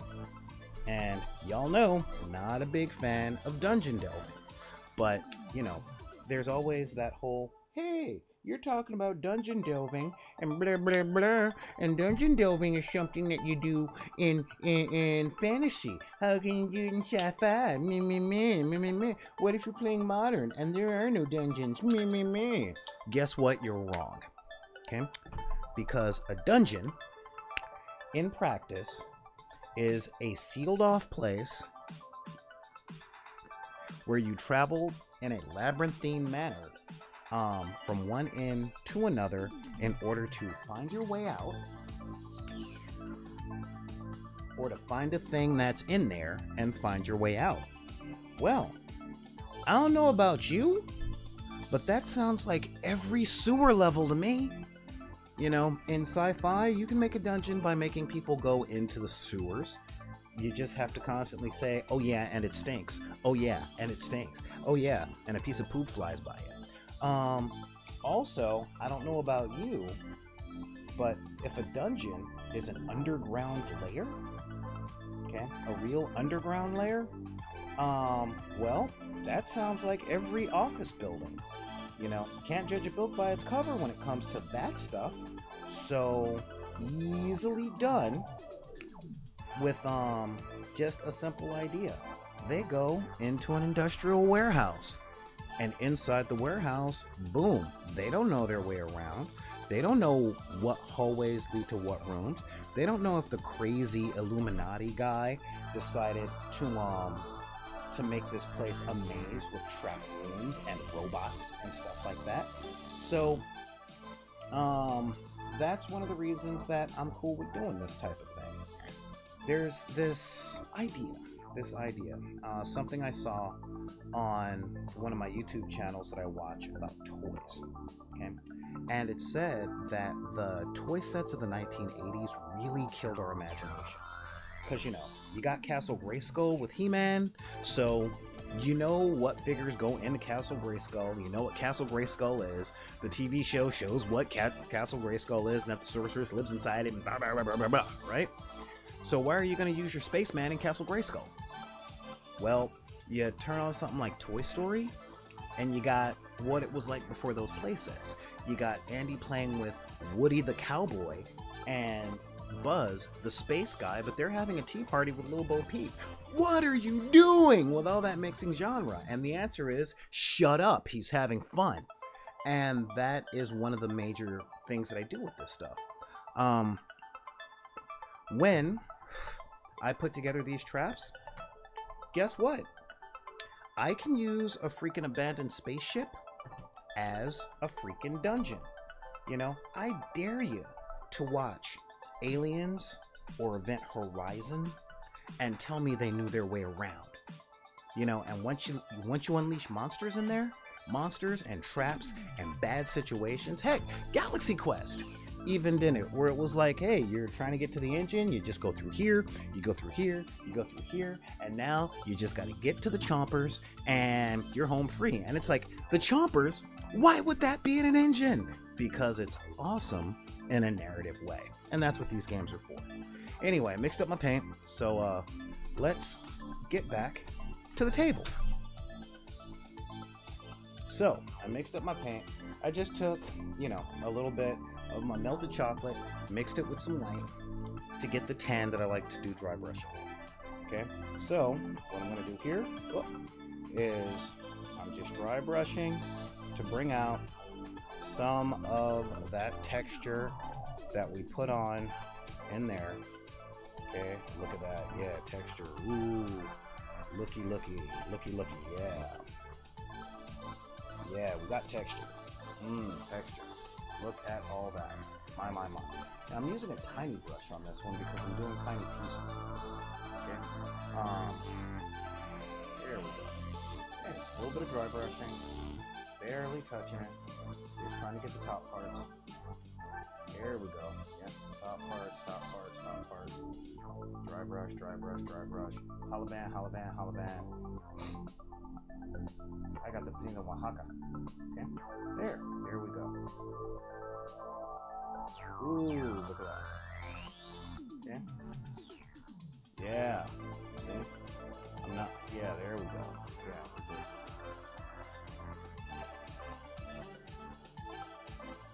Yeah. And I'm gonna take this tiny bit of white. Pop that on my easel. All we need. Take some of the stuff I was using the dry brush. Pop that in there. Pop a little white in there. Mix them up until we get something. And I'm sure you guys are noticing something, Damien, that I'm not watering down my paint. Um, I never water down my paints when I dry brush because I want to make a dry. I want a dry brush, so I make it wetter. Okay, and yeah.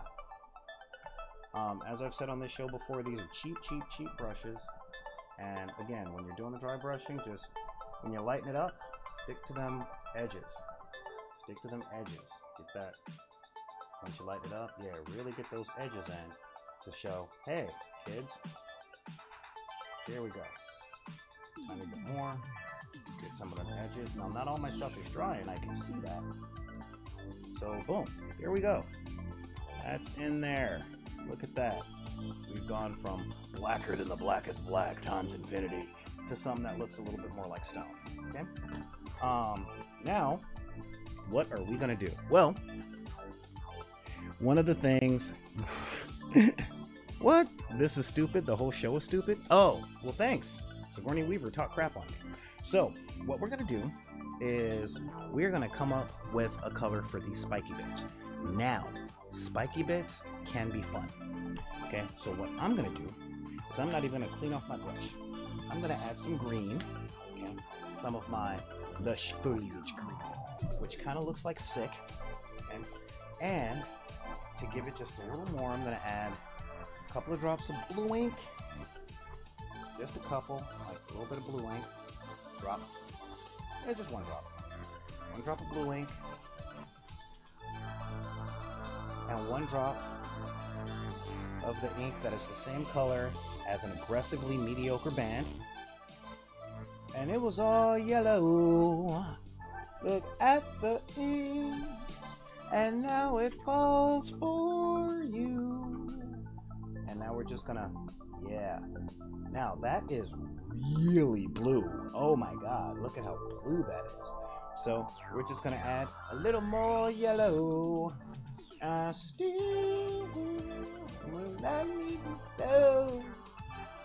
No, I'm bleeding myself. Right. Okay, and that's still a little, a little green, a little green. This is a gorgeous green. Uh, we're gonna take some of that white, and we're gonna mix that in to pale it out just a little bit. Okay. Yeah, we're gonna pale out that green just a little bit. Gonna pale it out just a little bit more. There we go. That is looking a little bit more like sick. I like it when stuff looks like it's sick. And now we're just gonna paint down here inside that. Why? We don't know what's down there. What is that stuff? You don't know. All you know is you don't want to fall on it. you know, like, ooh, my god, these are spikes and green ooze. Oh, it's ooze. What is the secret? It's the secret that's ooze. Yep, yep, yep. Movie drop. Um, yeah, look at all that. We're just gonna, yeah, and we're just gonna Whoop, wipe that in, wipe that in. Slop it on down. Yeah. Okay, yeah, and you see, now we got ooze. It's kind of swampy and stuff like that. Now, if this is a sewer, then imagine what it is. If this is a dungeon that was put together by a mad wizard, imagine what it is. If this is an industrial warehouse thing, then you know what? Yeah, just call it toxic waste. Who cares? And, and now, because I have a little bit of um, crossover, I'm just going to do that on the Masonite himself because um, why not? There we go. And there we are. There we go. Spike pit. You can make a Ninja Turtle. You can make a Ninja Turtle with it. Okay? And see, look at that. Uh, but you still need a little bit of something. Right? You need, you need a little bit of something. So we're going to let that dry. And we're going to go to one of our other pieces. Okay? Now we're going to get a new brush because we've got multiple things that we're doing. And we've got another one that's ready to dry. Um, how are we going to do that? Well, it's time to clean off our brush a little bit. So we take our water, water, water. Yay, water bottle. Endorsements? No, nobody's paying me for this. yeah, there you go, industrial goop. You know, like Gwyneth Paltrow. Oh no, I'm kidding. I'm kidding. I'm kidding. I'm kidding. Okay. Um, just to make this look a little, just a tiny bit more professional, we're gonna take our our brush and we're just gonna add a little bit of water. Okay, believe it or not, as much as water isn't good for dry brushing, water is good to help acrylic paint dry faster. Cool. Okay, yeah. And, you know what? I got some wackiness. We're gonna take our brush, and we're just gonna flick our goop right on top of that. Why? Shut up. See? Yeah, that gives it a little more, um, a little bit more flavor. You know, let me see if I can get that in there. Yeah, just a little bit more flavor. You know, and this is before flocking or anything like that. I, I don't really like to do the flocking. But yeah, clean off our brush.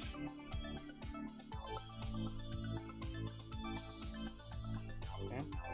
And yeah, I have a piece of fabric underneath my cutting mat just so that I can wipe stuff down. And now we're gonna go right back to dry brushing. Um, so we're gonna take our light dry brush stuff. There we go. Now when you're using cheap acrylic paint, which I love using cheap acrylic paint, it dries out pretty quick. And the quicker that it dries off, the faster we can get to our dry brush. There we go.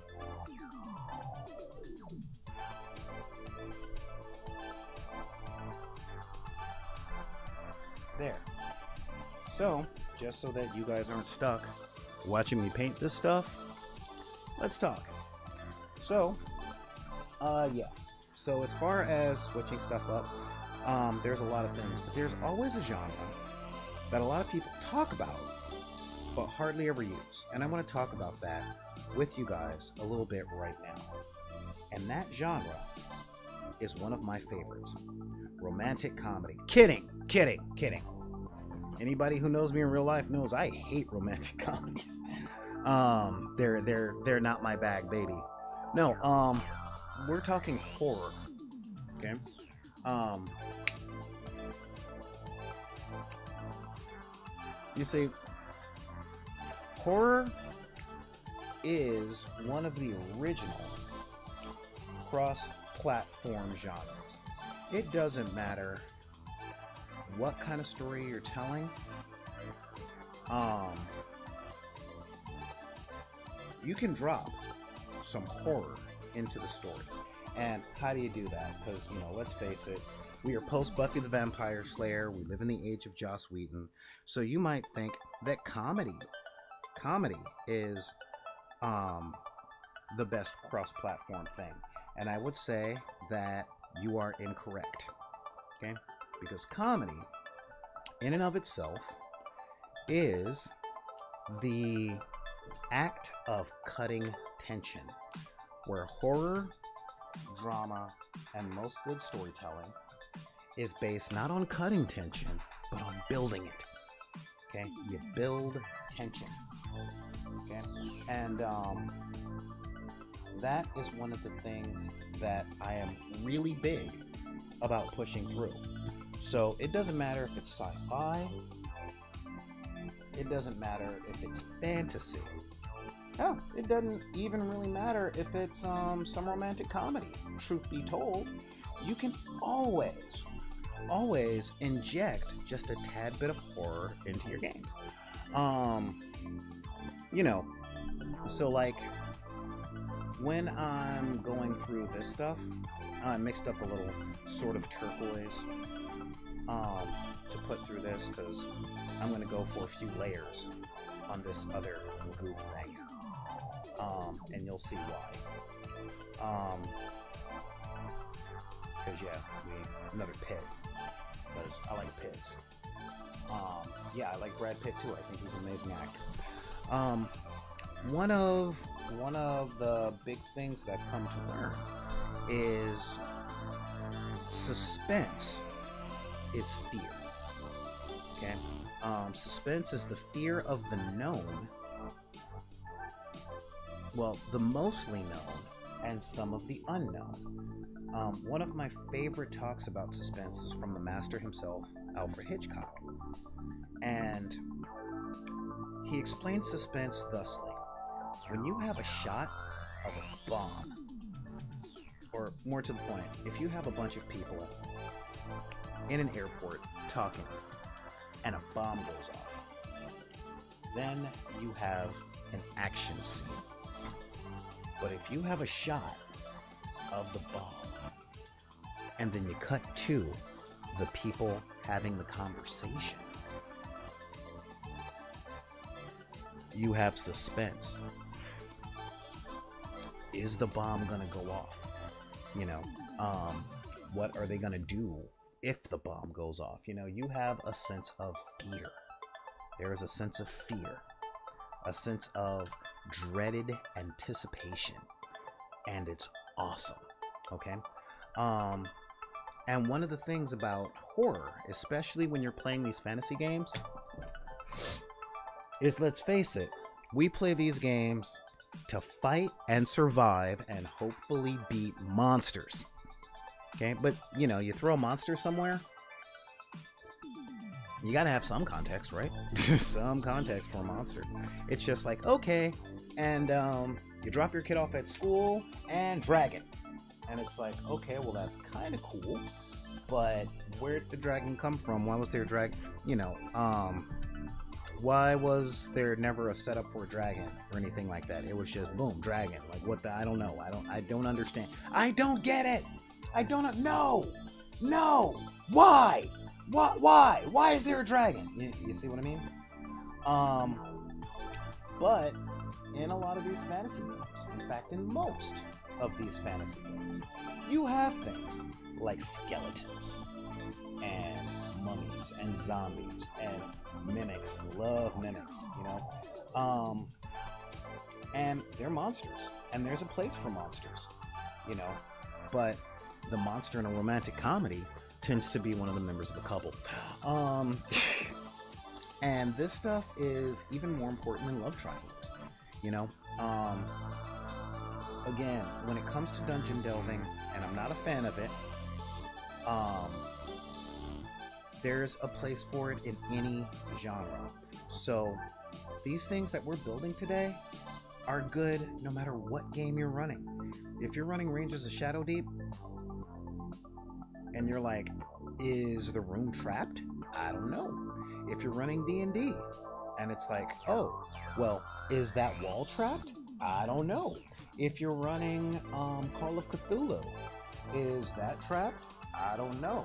If you're running Big Eyes Small Mouth with Sailor Moon, you know, um, is her dresser drawer trapped? Did Queen Beryl send a monster there? You know, these are all the things that you can use these traps for because there's a place for them all over the genre. Okay, um, all over the genre, all over every genre, and it's pretty awesome. So, be creative, have fun, and understand that you can throw a trap in anywhere and heighten tension, cause suspense, um, throw a little element of fear.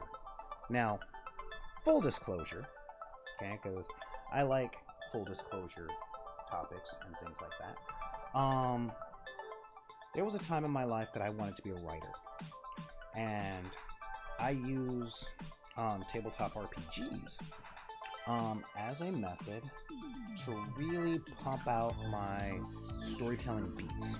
Okay, um, that's a big thing for me. Okay, I like having beats. It's like, is now a good time to do stuff? What I don't like are characters and dialogue. I just I don't understand how people talk. Um, I use a lot of 50 cent words when I'm not on camera. I'm like, yeah, no, it's fine. I've, I've been loquacious ever since I was a child. Like, real talk. And you can ask my mom if ever you meet her. My first words, my very first words, like, oh my god, you know, the kid said mama. I never said mama. I never said dada. You know, or at least I eventually said it, but, you know. Um, but as a child, my very first words were, excuse me, I don't mean to be a bother, but can someone tell me what a restroom is? Not, I got paid. But oh, terribly sorry. I, I, I, am so I am rather apologetic, but uh, I seem to be a bit indisposed at the moment, and I was wondering if I could use your facilities. you know, um, and this was before Baby Stewie. This was back in the '70s. So yeah, um, does that mean I was a little bit of a psycho? No. Um, but yeah, so I tend to be loquacious. I don't write dialogue the way that a lot of people actually talk in the real world, or should I say, speak. You know, even even when I was a kid and mom would call from wherever it was she was calling, I'd be like, "Let me speak. I want to speak to her. I would like to speak on the phone, please." In opposed to, "Let me talk to mama. I want to talk to mama." Um, and all of these story elements that I talk to you guys about um, they have a place, and they're very real. Um, and they're universal. I deal a lot in universal tropes, you know, because, um, again, a good story, a good story has a whole bunch of elements. You know, it has all of it. It has character tension. It has, um, you know, a lot of people, especially on the internet, like to sound clever and they try and try and quote George Martin in the yes, the best stories are the stories about man in conflict with himself. And he's not wrong. He ain't wrong about that. Um, but what I won't give him credence or leeway on is um. Oh yeah, I should probably show you guys this part. Um, yeah, but what I won't give him credence or leeway on is, or more of the people that um that um, try and quote him, is man's conflict with himself comes in a lot of flavors but each part of it it's it's like going through the stages of death you know anger denial depression rejection and acceptance and all that stuff right um a good story has elements of anger and fear and anticipation and horror and the idea that they might not win I mean, those things are all real, yo.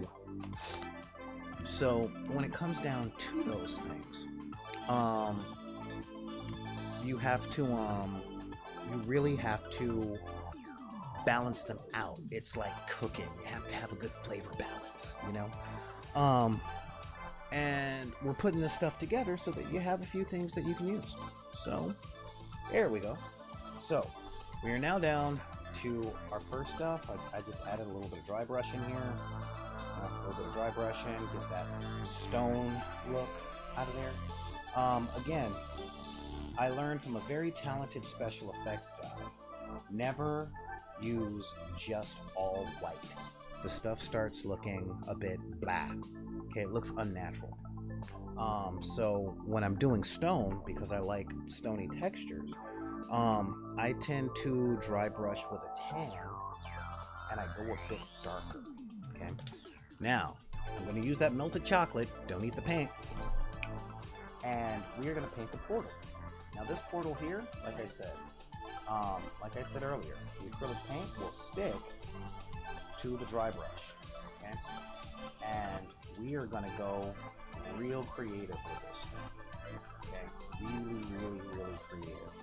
Um, there's a color we haven't used in this particular project, and that is going to be pretty awesome. So we're going to make this kind of look like an earthen thing to start. Okay, so we're just going to cover that whole thing in straight up melted chocolate. You know, we'll, we'll call it a Hershey portal.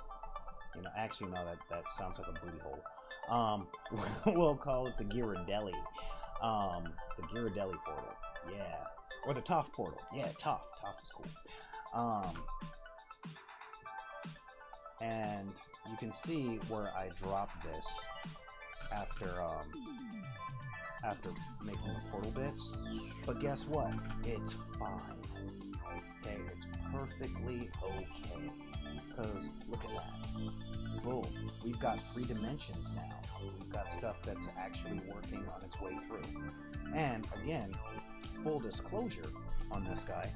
Um, I left my black paint in another room, so we're doing a lot of this without any straight up black. Okay, I've got some ink, but yeah, that's coming later. Okay, so we've got that, and we're just gonna let that dry. Now, yeah, look at that. It looks like something natural, but something kind of, you know, weird messed up. But we're gonna let that dry. Now that we've done most of the dry brushing, we're gonna add just a little bit of the dirt on the pop-up. Okay, just so that it looks like these spikes kind of busted through the rubble and took some of the ground.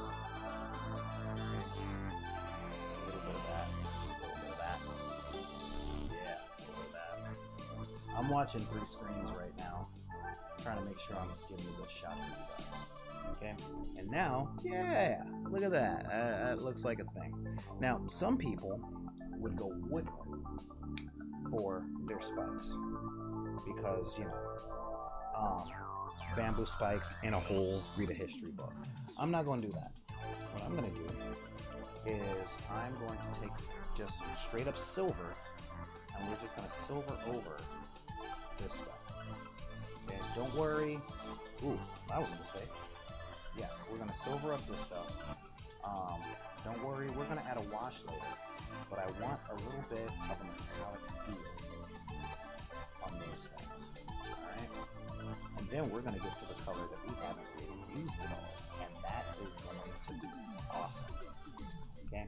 And now, what we're gonna do is we're gonna take some of that silver, okay, and we're just gonna dry brush the top of this stuff.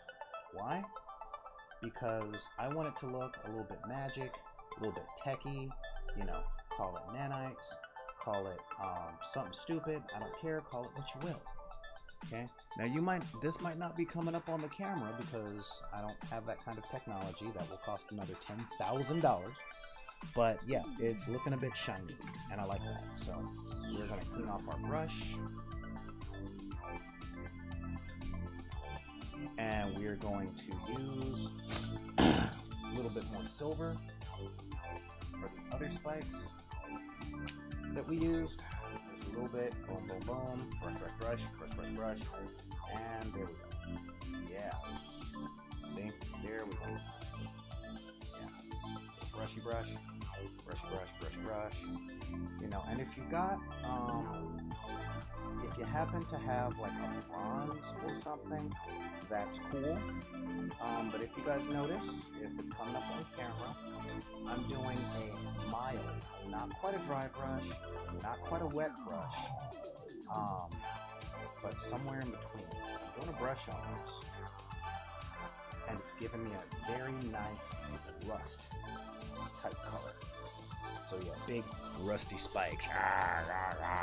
Okay, and now, um, comes one of my favorite grips. First, we got to do something about this because this is looking a, a bit. So with that same brush, we're just gonna spread up a little bit, add a little bit of silver, add a little bit of white into our turquoise. Okay, and we are gonna dry brush with that to um, uh, you know, just to give it a little character. Give it some interest. As you can see, I'm not doing a whole lot in there. That's really there we go. Oh, yeah, that worked. Yeah, see? Now, you can see that? Alright, yeah, look at that. And now, once that dries, we're going to do a little bit of inking. Um, just to make it awesome. But first, yeah, we're going to do just a tiny bit of inking, which means we're going to take some water in there. Okay. And now we're going to take some of our blue ink and instead of dripping, we're not going to drip. We're just to dab. Boom. There we go. Actually, still not to drip. Just to dab. You know what? Let's just drip. One drop. One drop. That's all. That's all. Walk away. Walk away. Just drop. Just drop. Okay? Because remember, um, ink once it dries, it's a lot more transparent than it likes to come off as. And yeah, we're inking with dirty water because we're doing a dirty thing. And now we're just gonna, oop, oop. See what we're doing here? We're just throwing the ink right in there. Not a whole lot. Okay? Yeah, that gives it a little bit of a wetter feel. And we're just gonna throw some blue ink into those there, because why not? Um,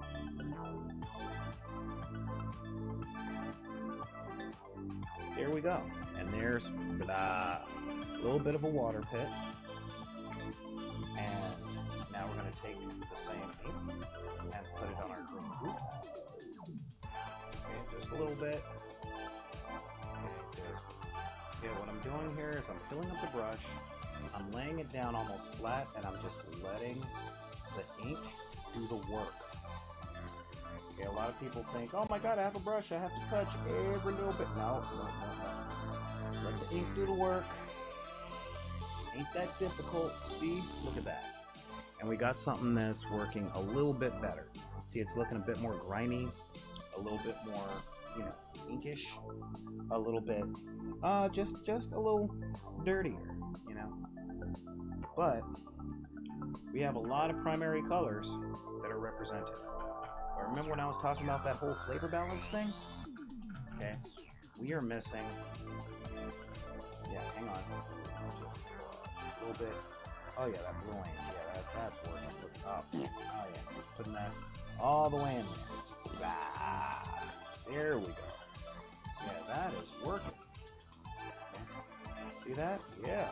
Look at all that. Don't worry. We've got one more inking thing to do before everything's done. There. Look at that. Isn't that nice? Isn't that nice and spiky? Isn't that nice and freaking toxic? Okay. And now, just to add a little insult to injury, we are going to ink up. We're just going to do a little bit of a yellow inking wash over that when it dries. Okay. But as I was saying about um about the flavor balance and stuff, yeah. Well, it's time for us to pull out boom, our redemption. Time to bring out some red. We need some red, and we're gonna do two things with this red. Okay, I pulled out the red, and I pulled out the yellow wash for a reason. Because right now, our um, our portal is almost dry. almost. So what we're gonna do, if you guys notice, I mix a lot of paint, like a lot. So we're just gonna take that much of the red, a little bit of the ink, a little bit more of the ink. Good. We're just gonna let that sit. Now, if you notice, we've got some ink on the brush. That's okay, because again, you never want to work with a solid single color. Not a primary color, not a shade. Alright? So now what we're going to do here is we're going to wipe out most of our stuff and we're going to get sort of a blood mustard curdle thing. And then we're just going to follow our circle. We're going to follow our circle here. Yeah. And it gives us this weird tone. Okay? Follow our circle, because again, this is a portal brought up by the Earth is, you know, like welcome to Earth. Have a portal. Okay? And these are cheap paints, so you're gonna have to layer the stuff on there. Okay? But yeah, there we go. Layer it on, draw your circle, make it big. Make your circle rain. Yeah, alright, there we go. And then we're going to do the same thing on the other side. And then we're going to let that dry. Other side, boom. Look at that. Oh, it's all goopy and visceral. Now, let's have some fun with a little bit of color paint theory. If you're noticing, we're not getting a whole lot of cool looking red. So, we're going to take just a tiny bit of our of our blue wash, and we're going to add that in. And you might ask why, because we are sort of making a visceral wash. Okay? And we're just going to put that in there, and you'll find that the purple makes it stick out just a little bit. And yeah. Oh, there we go. And instead of washing our brush, uh, I almost fell. Instead of washing our brush now, we're gonna grab a new one. Yep, grabbing a new brush. Now, now that we got that going, where did I put my water? That's where I put my water.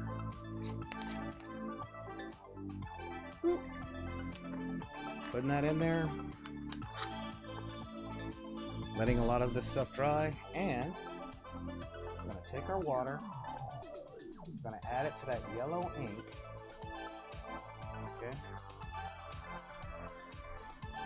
We are going to add it to some of our previous traps. Look at the dirt. Well, now, don't eat the yellow snuff. There we go. A little bit. Good, good, good. Get that in there. Get it thin. You can always add more ink. You know, you can do 10, 11, 12, 13 washes if you need to. Okay, there we go on that. Now, we leave that alone to the final wash. With this one, Okay, we still have a little bit of pooling blue, and that's fine. Now we turn that pooling blue into pooling green. Oh, that's looking nice and sick. Yeah, now that looks like something I don't want to fall into. Look at that. Blah. Okay, and we're going to do the same with the spikes down here. Spiky, spiky, spiky. Okay, some of that water in there. Okay, and And that's it. That's it. Now we walk away. We walk away from that. And we're going to do a new dry brush. Okay? And by a new dry brush, I mean we're going to take some of that red that we dealt with earlier. The red that we mixed with, with um, the yellow to give us a slight pale orange. Okay? slight pale orange. Slight pale orange. Yeah. Slightly pale. And we're gonna go back to our portal here. And we're just gonna dry brush right on top. Right on top. Hopefully this has dried. Okay. Right on top. And there we go. And now for the final bit. Final, final. We are going to mix our paints together in some dirty water. Okay. This had my black wash in it. You know, I had a black wash in the whole thing. And yeah. Okay, there we go. Nice and thin. And now, we take our older piece. Oh, look at that. Can you see that? That's what we're looking for. Okay, now we know the wash working the way that we want the to work. Oh, look at that. That's gorgeous. That is, yeah. Now, a lot of the veteran crafters, a lot of the wood crafters, um, they pre-make a lot and they put them in bottles, you know, and I mean to do that eventually. I might do that this week. I. There we go. Yeah. You see how that looks? Oh yeah, that looks nice and dirty, get a little slimy. But that will let us know that we're getting to what we want. Okay? And that is where we go in. We take this, and we just add our wash to the top of our little tiles. And again, the reason, uh, you guys should know by now, the reason that this stuff tends to take me a little bit is because I do multiple pieces in front of you guys. If you guys were just doing one tile at a time, this would take about 20 minutes, if that. And never forget that creative work spawns other creative work. Okay, so that 20 minutes will probably go by and you'll be like, oh, wait, I'm to make another one of these. Oh, I'm going to make another one of these. Oh, I'm going to make another one of these. You know, and guess what? You're gonna. If you live with someone, you got a significant other, or you got parents or something, um, listen to them. Okay? There's a great video out from one of my favorite crafters on YouTube um, called Stuff Crafters Say. And it always comes down to things like, no, I don't need to eat right now. No, I'm not hungry. No, I'm just going to finish this. No, I'm just going to finish this thing up. Um, okay, I just have to get past this step. I just have to get past this step. I just have to get past this step. And then it's like 4 or 5 o'clock in the morning. You can, you can lose your life to this stuff. So remember, moderation in all things. Okay? Make one. Now, I'm making a bunch of traps right now because I just like having them laying around. Final. So yeah, listen to them. And my favorite thing about doing stuff like this is it doesn't have to match the rest of your piece, really. Um, because these things are super duper modular. So you're only gonna pull them out when you're ready to use them. Know, when someone actually steps on the trap and then you go, aha! You did the trap! And again, I like using four. What I find is best is use no less than two. Okay? No less than two squares. Um, because it's a lot easier to find. Now, if you're wondering what we're doing right now, um, we just have we just put the ink and stuff on, so we are giving them time to dry before we do the glamour shot. um, my cat wants you to come out of the magic box. I have no idea what you're talking about. What is going on in the chat, guys? Because you you guys are killing me today. Uh, yeah, low budget musical comedies. Oh God, nope, nope, nope. Running away. La la la la la la. Um, I don't even know how many people are watching. Um, oh, only got one person left. All right, well that's cool. Um, I just got so caught up in doing the job. Y'all know how it is. um, oh, your cat is attacking the TV. That is pretty cool. Um, so yeah. So again, we use the stuff um, according to our needs for um, our stuff. Now I put four different traps down. You know, an acid or goop trap, um, a poison spike pit, um, a magic, magic teleportation portal pit, and of course, you know, the good old spikes out the ground because I like Indiana Jones. You know, and um, these are things that can be used in dungeons and horror. Um, well, again, and it doesn't matter what genre. All that matters, yeah, all that matters is understanding what adds up to what other thing. Okay. Um, how long have we been here? Yeah, two hours and 14 minutes. That works. Um, I'm doing my best to get to uh, Twitch partner status. Okay, but that means I got to average 75 viewers per broadcast. Ugh. Ah. Ah, that kills me. Um, so please share this stuff. You know, let people know. Hey, this is a cool little crafting thing. I'm probably gonna put this thing up on YouTube. Um, for two hours. They're like, "Oh my god, you you just put up a whole crafting video." Yeah, I do this stuff in real time. I do the stuff in real time so that you guys can see the stuff that I like doing. Um, whew. Oh, yeah, yeah, that's, you know, that that's a real big thing. So, let me, um, hmm, gotta wick away some of the other colors. Yeah. And of course,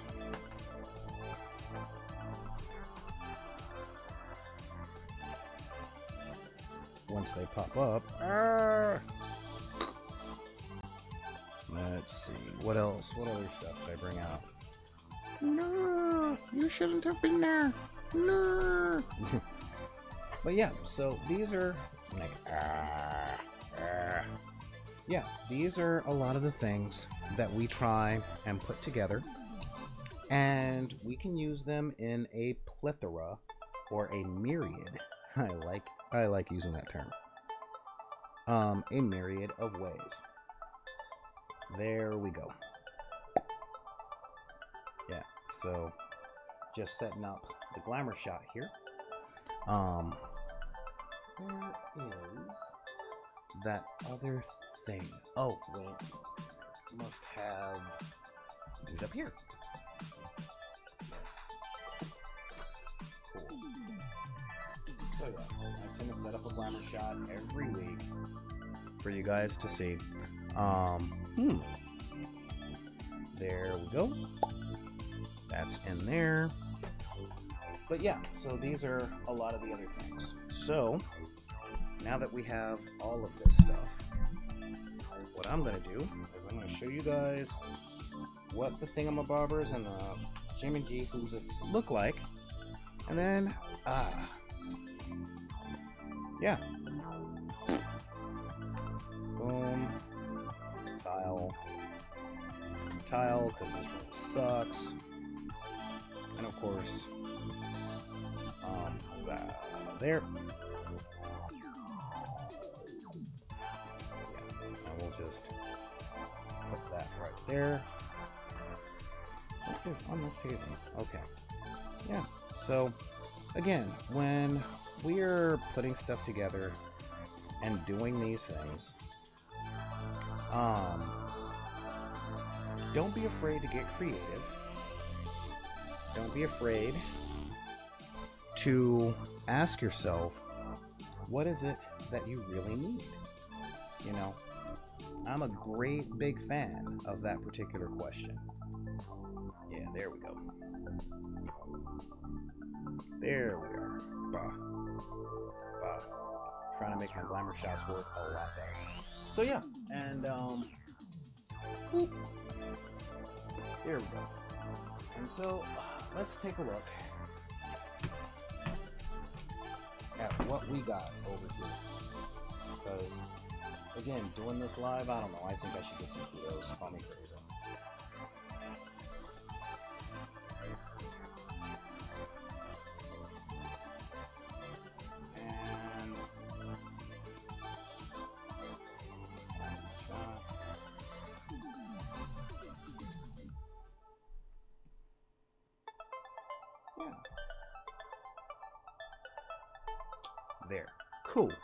So let's take a look at what this whole thing looks like once we have everything put together.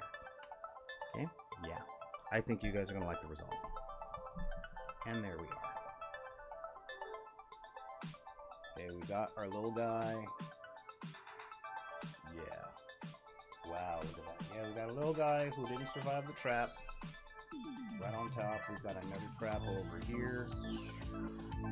And again, these things just look kind of cool. I might, um, I might fix a few things in white. Um, ooh, no, two, yeah. And, um, and yeah, so that's what we got. Look at all that. My, my, my, my. So, there we go. There is our traps in our dungeons. Can do this all day. And I hope you guys enjoyed yourself today in this particular game. I'm gonna post a couple of um I'm gonna post a couple of the glamour shots up on Twitter and Instagram and all our social medias. Y'all know how that whole thing works. But yeah, I wanna say thank you to you guys to show up. If you guys got any questions or comments or any of those other cool things, and if you guys want to show the stuff that y'all make, because I'd really like to see what you guys do. Um, that would be really cool. Um, to see if you guys take stuff from the show and be like, yeah, I made this. Check out what I can do. Um, that would be cool. All you gotta do is send an email with your pictures and all that stuff over to. Oh wait, wrong one. over to. Nope, wrong one again. Ah, so many. Um, there we go. Yeah, I'm normally better about that. Yeah, send the stuff over to back in the deck at gmail.com. It's B A C K I N T H E D E C K at gmail.com. Um, and, um, you know, talk to us, put the subject line, hey, look, I made this from Hobby Hall. And um, this is cool. I got some traps that we're going to be using. And we are also going to be posting up more pictures and things from um, from a lot of our things that we're going to be doing over the weekend. And you know, hit us up on Twitter, Instagram. Um, if you're part of that wretched hive of scum and villainy known as Facebook, join Deckers on the group, and you'll be able to see a lot of the pictures that we have um, that we put up. Add your own or send them to them ourselves. Um, check out our Patreon. You know, uh, if you want to help support us by sending us money once a month, that would be cool, especially if you think that what we do is worth more than a soda a month. You know, that would be kind of cool. And, um, you know, as you guys can see, we did most of this stuff out of scraps of, um, yeah, we did most of this stuff out of scraps. Yay. Scraps of, um, of foam core some glue, a couple of other things, and um, yeah, this is the stuff that you guys can do. So, putting this out there just to say, if anybody tells you that you can't like what you like because of the circumstances of your birth, be it race, religion, creed, gender identity, sexual orientation, your disabilities, or your budgets, you just tell them that we said to take those cards and put them back in the bin. This is Solar Greye, the Cinematic Sorcerer, saying thank you guys for tuning in to the Hobby.